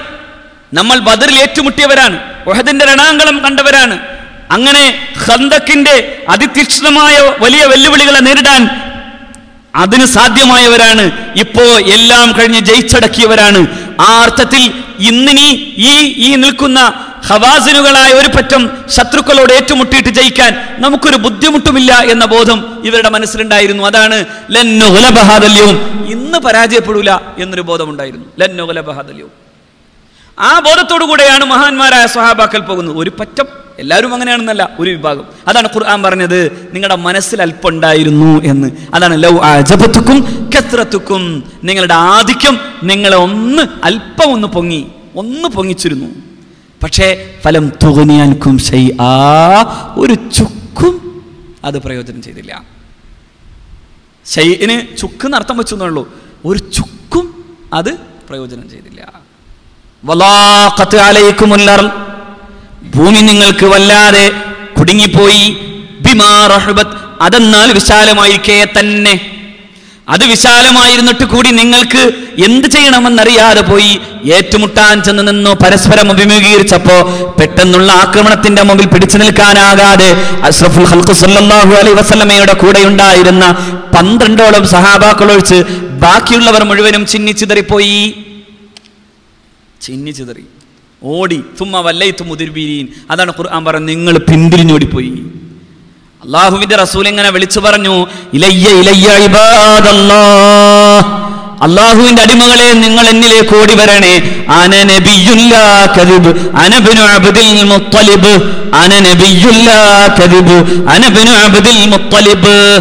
ഞാൻ അള്ളാന്റെ നബി തന്നെയാണ്. ഞാൻ മുഹമ്മദ് നബിയാണ്. ഞാൻ അബ്ദുൽ മുത്തലിബിന്റെ പുത്രനാണ്. അബ്ദുൽ മുത്തലിബിന്റെ മുത്തലിബിന്റെ പൗത്രനാണ് ധീരനാണ്. അതുകൊണ്ട് നിങ്ങൾ ഇങ്ങോട്ട് വരണേ എന്ന് പറഞ്ഞിട്ട് പിന്നെ അള്ളാഹു നൽകിയ ഒരു സമാധാനമാണ് മഹാന്മാരായ സഹാബാക്കൾ അടുപ്പിക്കുകയും ഹുനൈന്റെ യുദ്ധത്തിൽ ജയിക്കുകയും ചെയ്തു എന്നത് ഞാൻ ഈ രണ്ടിനെയും കൂട്ടിയോജിപ്പിച്ചത്. ഒരു ഭാഗത്ത് ഒന്നുമില്ലാതെ ജയിച്ചതെന്തേ? ഒരു ഭാഗത്ത് എല്ലാം ഉണ്ടായിട്ടെന്തേ? പെട്ടെന്ന് ഓടിപ്പോയത്. ഒറ്റ കാര്യമുള്ളൂ. ഒരു ഒരു സാമഗ്രിയുടെയും ഒരു ആൾബലത്തിന്റെയും വിജയം മുസ്ലിം ഉമ്മത്ത് പ്രതീക്ഷിക്കണ്ട. ബദർ നൽകാവുന്ന ഏറ്റവും വലിയ പാഠം അതാണ്. സാമഗ്രികളുടെ വിജയം മുസ്ലിം ഉമ്മത്ത് പ്രതീക്ഷിക്കേണ്ടതില്ല. ആയുധ സാമഗ്രികൾ മുഴുവനും ഒരു ഭാഗത്ത് കൂട്ടം കൂടുമ്പോഴും സാമഗ്രികളൊന്നുമല്ല മുസ്ലിം ഉമ്മത്തിന് ആവശ്യം. ഈമാനാണ് ഈമാനാണ്. ആ ഈമാൻ കൊണ്ടാണ് ഹബീബിനോടുള്ള അടങ്ങാത്ത ആവേശം കൊണ്ടാണ് മഹാന്മാരായ സ്വഹാബാക്കൾ പറഞ്ഞത് നിങ്ങൾ കൽപ്പിച്ചാൽ നിങ്ങൾ അങ്ങോട്ട് പോയാൽ എന്നിട്ട് ഫഹുത്ത നിങ്ങൾ പോയിട്ട് വഹുലുത്ത നിങ്ങൾ പോയിട്ട് ആ കടലിലേക്കെങ്ങാനും മൂളിയിട്ടാൽ ലഹുദന ഞങ്ങളും പോകും ഞങ്ങൾ മൂളിയിടും. ഞങ്ങൾക്ക് അതിൽ പേടിയില്ല. നിങ്ങൾ എങ്ങോട്ട് പോണോ അവിടെ ഉണ്ടാവും ഞങ്ങൾ എന്ന് പറഞ്ഞ സ്വഹാബത്താണ് ജയിച്ചത്. എന്ന് പറഞ്ഞ സ്വഹാബത്താണ് ബദറിൽ ജയിച്ചത്. അതേസമയം അല്പം ഒരു പൊങ്ങച്ചം തൽക്കാലം ഇപ്പോൾ ആളായിട്ടുണ്ടല്ലോ എന്ന് തോന്നിയപ്പോഴാണ് അള്ളാഹു ഒന്നിട്ട് ഓടിച്ചിട്ട് കറക്കിയിട്ട് പിന്നെ അള്ളാഹു വിജയിപ്പിച്ചു. കാരണം റസൂർദാടെ റസൂർദാടെ സ്വഹാബത്താണ് ഹബീബുള്ള സ്ഥലമാണ് അതുകൊണ്ട് അള്ളാഹു വിജയിപ്പിക്കുകയും ചെയ്തു. പക്ഷെ ഒരു നിമിഷം ഒരൊറ്റ ഓടിക്കൽ അള്ളാഹു ഓടിക്കുകയും ചെയ്തു. ഈ രണ്ട് യുദ്ധങ്ങൾ ആധുനിക മുസ്ലിമിന് പാടാണ്. എന്ത് പാഠം? എന്ത് പാഠം? എന്ത് പാഠം? തക്വയും യഥാർത്ഥമായ ഇസ്ലാമിക ജീവിതവും നയിക്കുമ്പോൾ മാത്രമേ മുസ്ലിം വിജയിക്കുകയുള്ളൂ. അല്ലെങ്കിൽ അല്ലെങ്കിൽ എന്ത് കവാത്ത് നടത്തിയിട്ടും വിജയിക്കാനാവൂല. ഞാൻ എന്തിനാ ഇങ്ങനെ കവാത്തമ്മ വിളിക്കണത് ആ സംഭവം ഉണ്ടാകാൻ പാടില്ല. അതുണ്ടാവാൻ പാടില്ല. എന്തിനാണടോ? ഇവിടെ മുഅ്മിനീങ്ങൾ ജീവിച്ചൊരു പാഠവും രീതിയും ഉണ്ടല്ലോ.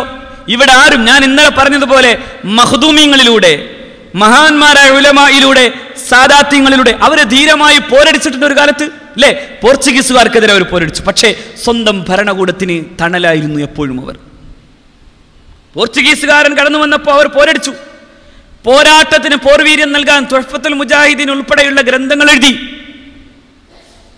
എന്തിന്? അതെല്ലാം നൽകുമ്പോഴും അവർ പറഞ്ഞു സാമൂതിരി രാജാവ് എന്ന ഞങ്ങളുടെ രാജാവ് മഹാനാണ്. ഞങ്ങളുടെ നാട്ടിൽ കാലുമാർക്ക് പോലും ശമ്പളം കൊടുക്കുന്നത് ഞങ്ങളുടെ രാജാവാകുന്ന സാമുദ്രിയാണ് ഹിന്ദുവായ രാജാവാണെന്ന അഭിമാനത്തോടെ മഹാനായ ഷെയ്ഖ് സൈനുദ്ദീൻ മഹദൂം രണ്ടാമൻ തന്റെ തൊഴഫത്തിൽ മുജാഹിദിൽ എഴുതി വെച്ചു. നോക്കൂ. സ്വന്തം ഭരണകൂടത്തിനെതിരെ യുദ്ധം ചെയ്യാൻ ഒരിക്കലും ഒരിക്കലും മുസ്ലിങ്ങൾക്ക് സാധ്യല്ല സ്വാതന്ത്ര്യം ആഘോഷിക്കാൻ അനുവദിച്ചില്ല പോലും. ആരെ അനുവദിക്കാത്തത്? ഇവിടെ മുസ്ലിങ്ങളൊക്കെ അനുവദിച്ചു. ചില ആൾക്കാർ സ്വന്തം കുത്തക ഏറ്റെടുക്കുക. ആരുടെ? ആരുടെ?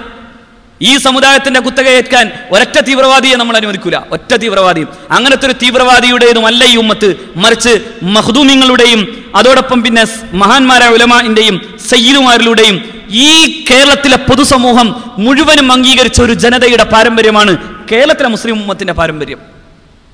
അതുകൊണ്ടാണ് പാണക്കാട്ടൊരു മനുഷ്യൻ വഫാത്തായി എന്നറിയുമ്പോൾ അത് പറയാനാവാതെ കേരളത്തിലെ പ്രഗത്ഭമായ ഒരു വാർത്താവായനക്കാരൻ തന്റെ ഗദ്ഗതത്തെ തടുത്തു നിർത്താൻ കഴിയാതെ ലൈറ്റ് ഓഫ് ചെയ്ത് പിന്നെ രണ്ട് നിമിഷത്തിന് ശേഷം മാത്രം ലൈറ്റ് ഓൺ ചെയ്തിട്ട് സയ്യിദ് മുഹമ്മദ് അലി ശിഹാബ് തങ്ങൾ അന്തരിച്ചു എന്ന് പറയേണ്ടി വന്നത് മുസ്ലിം ആയിട്ടല്ല അത് ഈ ഈ ഉമ്മത്തിന്റെ മുമ്പിലിരിക്കുന്ന ഈ വലിപ്പമുള്ള മനുഷ്യരുടെ മുമ്പിൽ ഈ രാജ്യത്തെ ഓരോ മനുഷ്യനും ഈ അർത്ഥത്തിൽ സ്നേഹം കൊടുത്തിട്ടുണ്ട് എന്നതിന് തെളിവാണ്. പിന്നെ നീ നീ കൈവട്ടാൻ പോയാൽ മതി. നീ ഈ ഉമ്മത്തിന്റെ മുഴുവൻ കുത്തകയേക്കേണ്ടതില്ല എങ്ങനെയൊക്കെ പരിശുദ്ധ ഖുർആൻ പറഞ്ഞത് സമുദായം ഏതെങ്കിലും വിഭാഗവുമായി അനിവാര്യമായ നേതൃത്വമുള്ള യുദ്ധം ചെയ്യേണ്ടി വന്നാൽ പോലും ആ യുദ്ധത്തിന്റെ രീതി പോലും അള്ളാഹു സുബാനു തല പറഞ്ഞു വെച്ചു.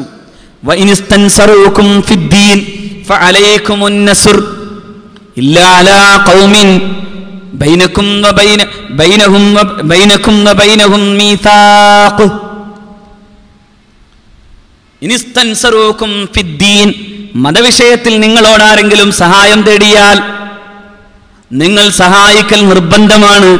നിങ്ങളുടെ മുസ്ലിം സഹോദരന്മാരെ സഹായിക്കണം. പക്ഷേ ഇല്ലാല കൗമിൻ ഒരു ജനതക്കെതിരെ ഒഴിച്ച് അവർക്കെതിരെ പാടില്ല.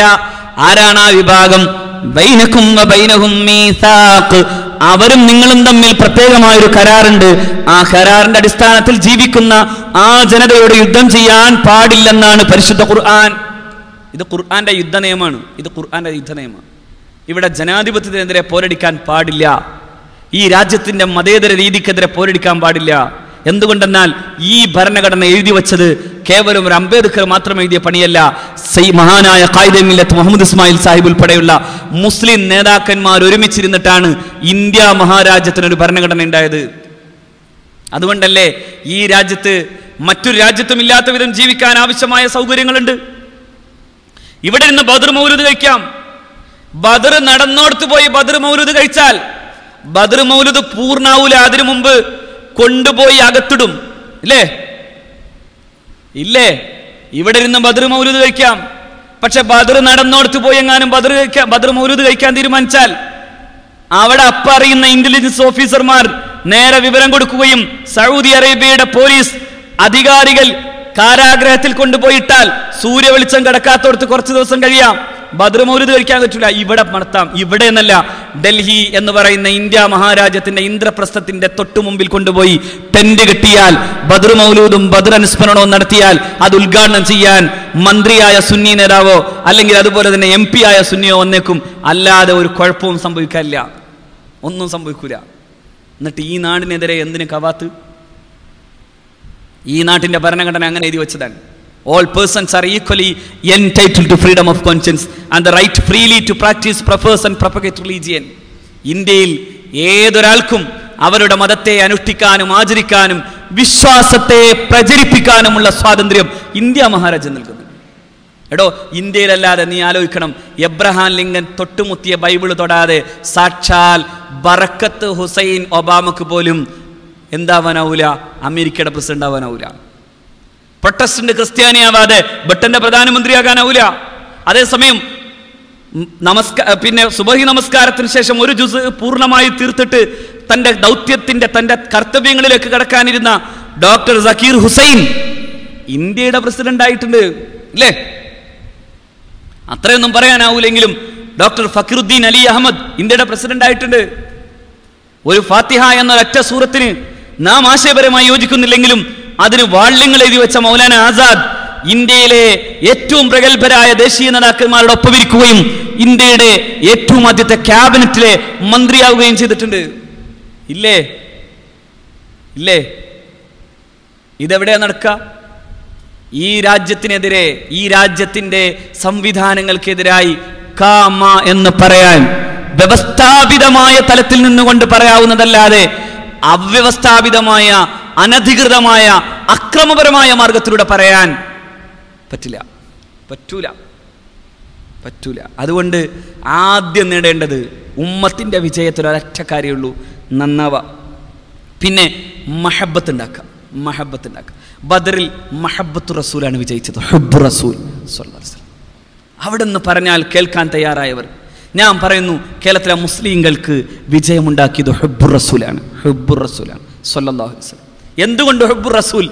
ഇവർ ഏറ്റവും കൂടുതൽ സ്നേഹിച്ചത് ഇപ്പോൾ ഇതിനു മുമ്പേ ഇവിടെ നിന്ന് കടന്നുപോയ മഹാന്മാരായ സയ്യിദുമാരെയാണ്. പാണക്കാട്ടെ സയ്യിദ് അബ്ബാസ് അലി ശിഹാബുദങ്ങൾ അല്ലേ ആ പരമ്പരയെ അഷ്റഫുൽ ഹൽക്കിന്റെ കുടുംബത്തെ സ്നേഹിക്കുകയും അഷ്റഫുൽ ഹൽക്കിനെ ആ അർത്ഥത്തിൽ അവിടുത്തെ സ്നേഹത്തിന്റെ ഭാഗമായി ഈ മഹാന്മാരായ സാദാത്യങ്ങളെ സ്നേഹിക്കുകയും അവർ പറഞ്ഞ വഴിയെ നടക്കുകയും ചെയ്തതാണ് കേരളീയ മുസ്ലിം സമൂഹത്തിന്റെ വലിപ്പത്തിന്റെ കാരണം. അതിനെന്ത് പേരിട്ടാലും ശരി പേരിനേക്കാൾ വലുത് ഹബ്ബു റസൂൽ എന്ന പേരിടലാണ്. ഹബ്ബു റസൂൽ ഇല്ലാതെ മറ്റൊന്നുമായിരുന്നില്ല ഇവിടെ ജയിച്ചത്. മറ്റൊന്നുമല്ല ജയിച്ചത്. ഹബ്ബു റസൂൽ ഉണ്ടാക്കി കൊടുത്ത ഉലമ ഇവിടെ ഉണ്ടായി. അങ്ങനെ ഹബ്ബുർ റസൂലിന്റെ പ്രതിനിധിയായ സാദാത്യങ്ങളെ സ്നേഹിച്ചു തൊട്ടുമുത്തി കൈപിടിച്ചു ബറക്കത്ത് തേടി അവർ അവർ ബ്രിട്ടീഷുകാർക്കെതിരെ പോരാടാൻ പോകുമ്പോൾ ഏലസ് മന്ത്രിച്ചു തരാൻ അങ്ങോട്ട് തന്നെ പോയി. പാണക്കാട്ട് ചെന്നിട്ട് ഹുസൈൻ അറ്റക്കോയ തങ്ങളോട് പറഞ്ഞു ഏലസ് മന്ത്രിച്ച് കൈപ്പിടിച്ചു യുദ്ധം ചെയ്തിട്ട് ബ്രിട്ടീഷുകാരൻ പേടിച്ചു പോയി അവസാനം മൃതദേഹത്തിൽ നിന്ന് ഏലസുമായി ഇത് ആരുടെ കയ്യിൽ നിന്ന് കിട്ടിയെന്നറിയാൻ വേണ്ടി പോയി. ഒടുക്കം അത് ചെന്നെത്തിയത് മഹാനായ പാണക്കാട് ഹുസൈൻ ആറ്റക്കോയ തങ്ങളുടെ മുമ്പിൽ. ഹുസൈൻ ആറ്റക്കോയ തങ്ങൾ പറഞ്ഞു ഞാൻ ബ്രിട്ടീഷുകാർക്കെതിരെയുള്ള പോരാട്ടത്തിന് തന്നെ കൊടുത്തതാണ് ഈ ഏലസ് എന്ന് പറയുകയും ചെയ്തു. ഒടുക്കം ഉസ്മാൻ അവർ അറസ്റ്റ് ചെയ്ത് കൊണ്ടുപോയി. അങ്ങനെ വെലൂർ ജയിലിലേക്ക് പോകുന്ന സമയത്ത് നമസ്കരിക്കാൻ വേണ്ടി തീവണ്ടി നിന്നു. ട്രെയിൻ നിന്നുപോയി ഓഫായി പോയി ഒതോടുത്ത് നിസ്കരിച്ചു കയറി ട്രെയിൻ സ്റ്റാർട്ട് ചെയ്യപ്പെട്ടു. ആ മഹാൻ ഇന്ന് വേലൂരെ ബാക്കിയാത്ത് സ്വാലിഹാത്തിന്റെ മക്ബറയിൽ അന്ത്യവിശ്രമം കൊള്ളുന്നു. അള്ളാഹു അവരുടെയൊക്കെ കൂട്ടത്തിൽ നമ്മളെ സ്വർഗത്തിൽ പെടുത്തുമാറാകട്ടെ ഞാൻ പറഞ്ഞത് ഹുബ് റസൂലാണ് ബദർ ജയിച്ചത്. ഹുബ് റസൂലാണ് കേരള മുസ്ലിങ്ങളെ ജയിപ്പിച്ചത്. അതിനെതിരായ ഏത് ആശയത്തെയും എതിർക്കേണ്ട ബാധ്യത ഈ ഉമ്മത്തിന്റെ നിലനിൽപ്പ് ആഗ്രഹിക്കുന്ന ഓരോ മിനിങ്ങൾക്കുമുണ്ട് അള്ളാഹു ബദരീങ്ങളുടെ മഹത്വത്തെ അംഗീകരിക്കുന്ന അവരെ തവസ്സുലാക്കുന്ന അവരുടെ ഇഷ്ടത്തിൽ കൂട്ടപ്പെടുന്നവരുടെ കൂട്ടത്തിൽ അള്ളാഹു നമ്മൾ ഉൾപ്പെടുത്തുമാറാകട്ടെ. അർഹമുറാഹിമീനായ തമ്പുരാനെ മഹാന്മാരായ സുഹാബുൽ ബദരീങ്ങളുടെ കാര്യങ്ങളെക്കുറിച്ച് പറഞ്ഞുകൊടുത്ത് എന്തെങ്കിലും അർത്ഥത്തിൽ പിഴവ് വന്നാൽ നീ ഞങ്ങളോട് ക്ഷമിക്കണേ തമ്പുരാനെ. അവർ നിന്റെ അടുക്കൽ മഹാരഥന്മാരാണ് രക്തസാക്ഷികളാണ്. ആ അർത്ഥത്തിൽ നിന്റെ ഭക്ഷണവും നിന്റെ പരിചരണവും പ്രത്യേകം കിട്ടുന്ന മഹാന്മാരായ ആളുകളാണ് റഹ്മാനും റഹീമുമായ തമ്പുരാനെ. അവരുടെ ഗുരുത്വവും അവരുടെ പ്രീതിയും നീ ഞങ്ങൾക്ക് തരണേ തമ്പുരാനെ. അസ്മാ ഉൽ ബദർ എന്നും കഴിക്കുന്ന മുത്തക്കയങ്ങൾ ഞങ്ങളെ നീ പെടുത്തണേ തമ്പുരാനെ. നല്ല നിലയിൽ അവരോടുള്ള തൃപ്തിയിൽ അവരെ തവസ്സുലാക്കുന്നവരെ നീ ഞങ്ങളെ പെടുത്തണേ റഹ്മാനെ. പാപങ്ങളെ പൊറുക്കണേ അല്ലാ. ജീവിതത്തെ നന്നാക്കി തരണേ റഹ്മാനെ.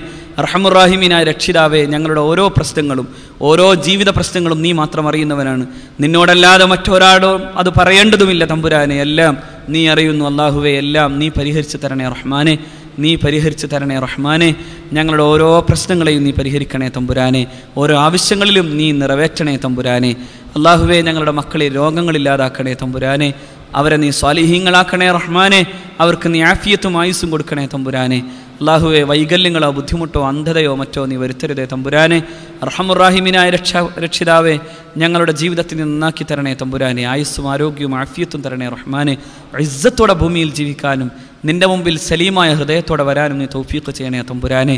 അള്ളാഹുവെ ഈ റമദാനും ഈ ഖുർആാനും ഞങ്ങൾക്ക് സാക്ഷിയായി അനുകൂല സാക്ഷിയാക്കി മാറ്റണേ തമ്പുരാനെ. അർഹമുറാഹിമിനായി രക്ഷക എത്രയോ ആളുകൾ പലതുകൊണ്ട് ദുവാ ചെയ്തവർ ചെയ്യാൻ വസീയത്ത് ചെയ്തവരുണ്ട്. രോഗങ്ങളാൽ ബുദ്ധിമുട്ടുകളാൽ പലതും പല ആഗ്രഹങ്ങളാലും അള്ളാഹുവെ നീ എല്ലാം നീ നിറവേറ്റി കൊടുക്കണേ റഹ്മാനെ. അള്ളാഹുവെ ഇത് കേൾക്കുന്ന ഇത് ഇത് കേട്ടുകൊണ്ടേയിരിക്കുന്ന പ്രവാസി സഹോദരന്മാരുണ്ട്. അള്ളാഹുവെ ഞങ്ങൾക്ക് എന്തെങ്കിലും നന്മകൾ ചെയ്യുമ്പോൾ സമുദായത്തിന്റെ നന്മക്ക് വേണ്ടി ഏറ്റവും കൂടുതൽ കാര്യമായി പണിയെടുക്കുന്നവർ പ്രവാസികളായ സഹോദരന്മാരാണ് നാഥ. അവർ അവരുടെ ജീവിതത്തിന്റെ ഒരു ഭാഗം ഈ നാടിന്റെ പച്ചപ്പിന് വേണ്ടി മാത്രം മാറ്റിവെക്കുന്നവരാണ്. അള്ളാഹുവെ അവരെ നീ എല്ലാ അർത്ഥത്തിലും അവരുടെ നാട് അവർ ജീവിക്കുന്ന തൊഴിലെടുക്കുന്ന നാടുകളൊക്കെ സമാധാനത്തിലാക്കണേ തമ്പുരാനെ. അവർക്ക് നീ ഐശ്വര്യം നൽകണേ റഹ്മാനെ. അവരിട്ടെറിഞ്ഞു പോയ കുടുംബങ്ങൾക്ക് നീ സംരക്ഷണം നൽകണേ തമ്പുരാനെ. അവരുടെ മക്കൾക്ക് നീ സംരക്ഷണം നൽകണേ റഹ്മാനെ. അവരുടെ കുടുംബങ്ങളിൽ നീ പിഴവ് വരുത്തരുതേ തമ്പുരാനെ. അവർ തിരിച്ചു വരുമ്പോൾ സന്തോഷത്തിനപ്പുറത്തേക്ക് മറ്റൊരു ദുഃഖം അവർക്ക് നീ നൽകരുതേ തമ്പുരാനെ. അവരെയും ആയുസ്സോടെയും ആരോഗ്യത്തോടെയും കാണാൻ അവരുടെ ബന്ധുമിത്രാദികൾക്ക് നീ സൗഭാഗ്യം കൊടുക്കണേ റഹ്മാനെ. അള്ളാഹുവെ ഞങ്ങളുടെ സംഘടനാ പ്രവർത്തനങ്ങൾക്ക് ഏറെ സഹായകമായി നിൽക്കുന്ന ഗൾഫിലെ ഓരോ നാടുകളിലെയും പ്രവാസി സഹോദരന്മാർ അള്ളാഹുവെ നീ അവരെ സഹായിക്കണേ തമ്പുരാനെ സംഘടനാ പ്രവർത്തനങ്ങൾക്ക് സഹായകമേകുന്ന ഒരു ഹൃദയം ഒരു മനസാക്ഷിയും ആവശ്യമായ എല്ലാവിധത്തിലുള്ള ശ- ആ, സൗകര്യങ്ങളും നീ അവർക്ക് കൊടുക്കണേ തമ്പുരാനെ ربنا ظلمنا أنفسنا وإن لم تغفر لنا وترحمنا لنكونن من الخاسرين ربنا آتنا في الدنيا حسنة وفي الآخرة حسنة وقنا عذاب النار ربنا تقبل منا إنك أنت السميع العليم وتب علينا إنك أنت التواب الرحيم آمين برحمتك يا أرحم الراحمين. بحق صلى الله على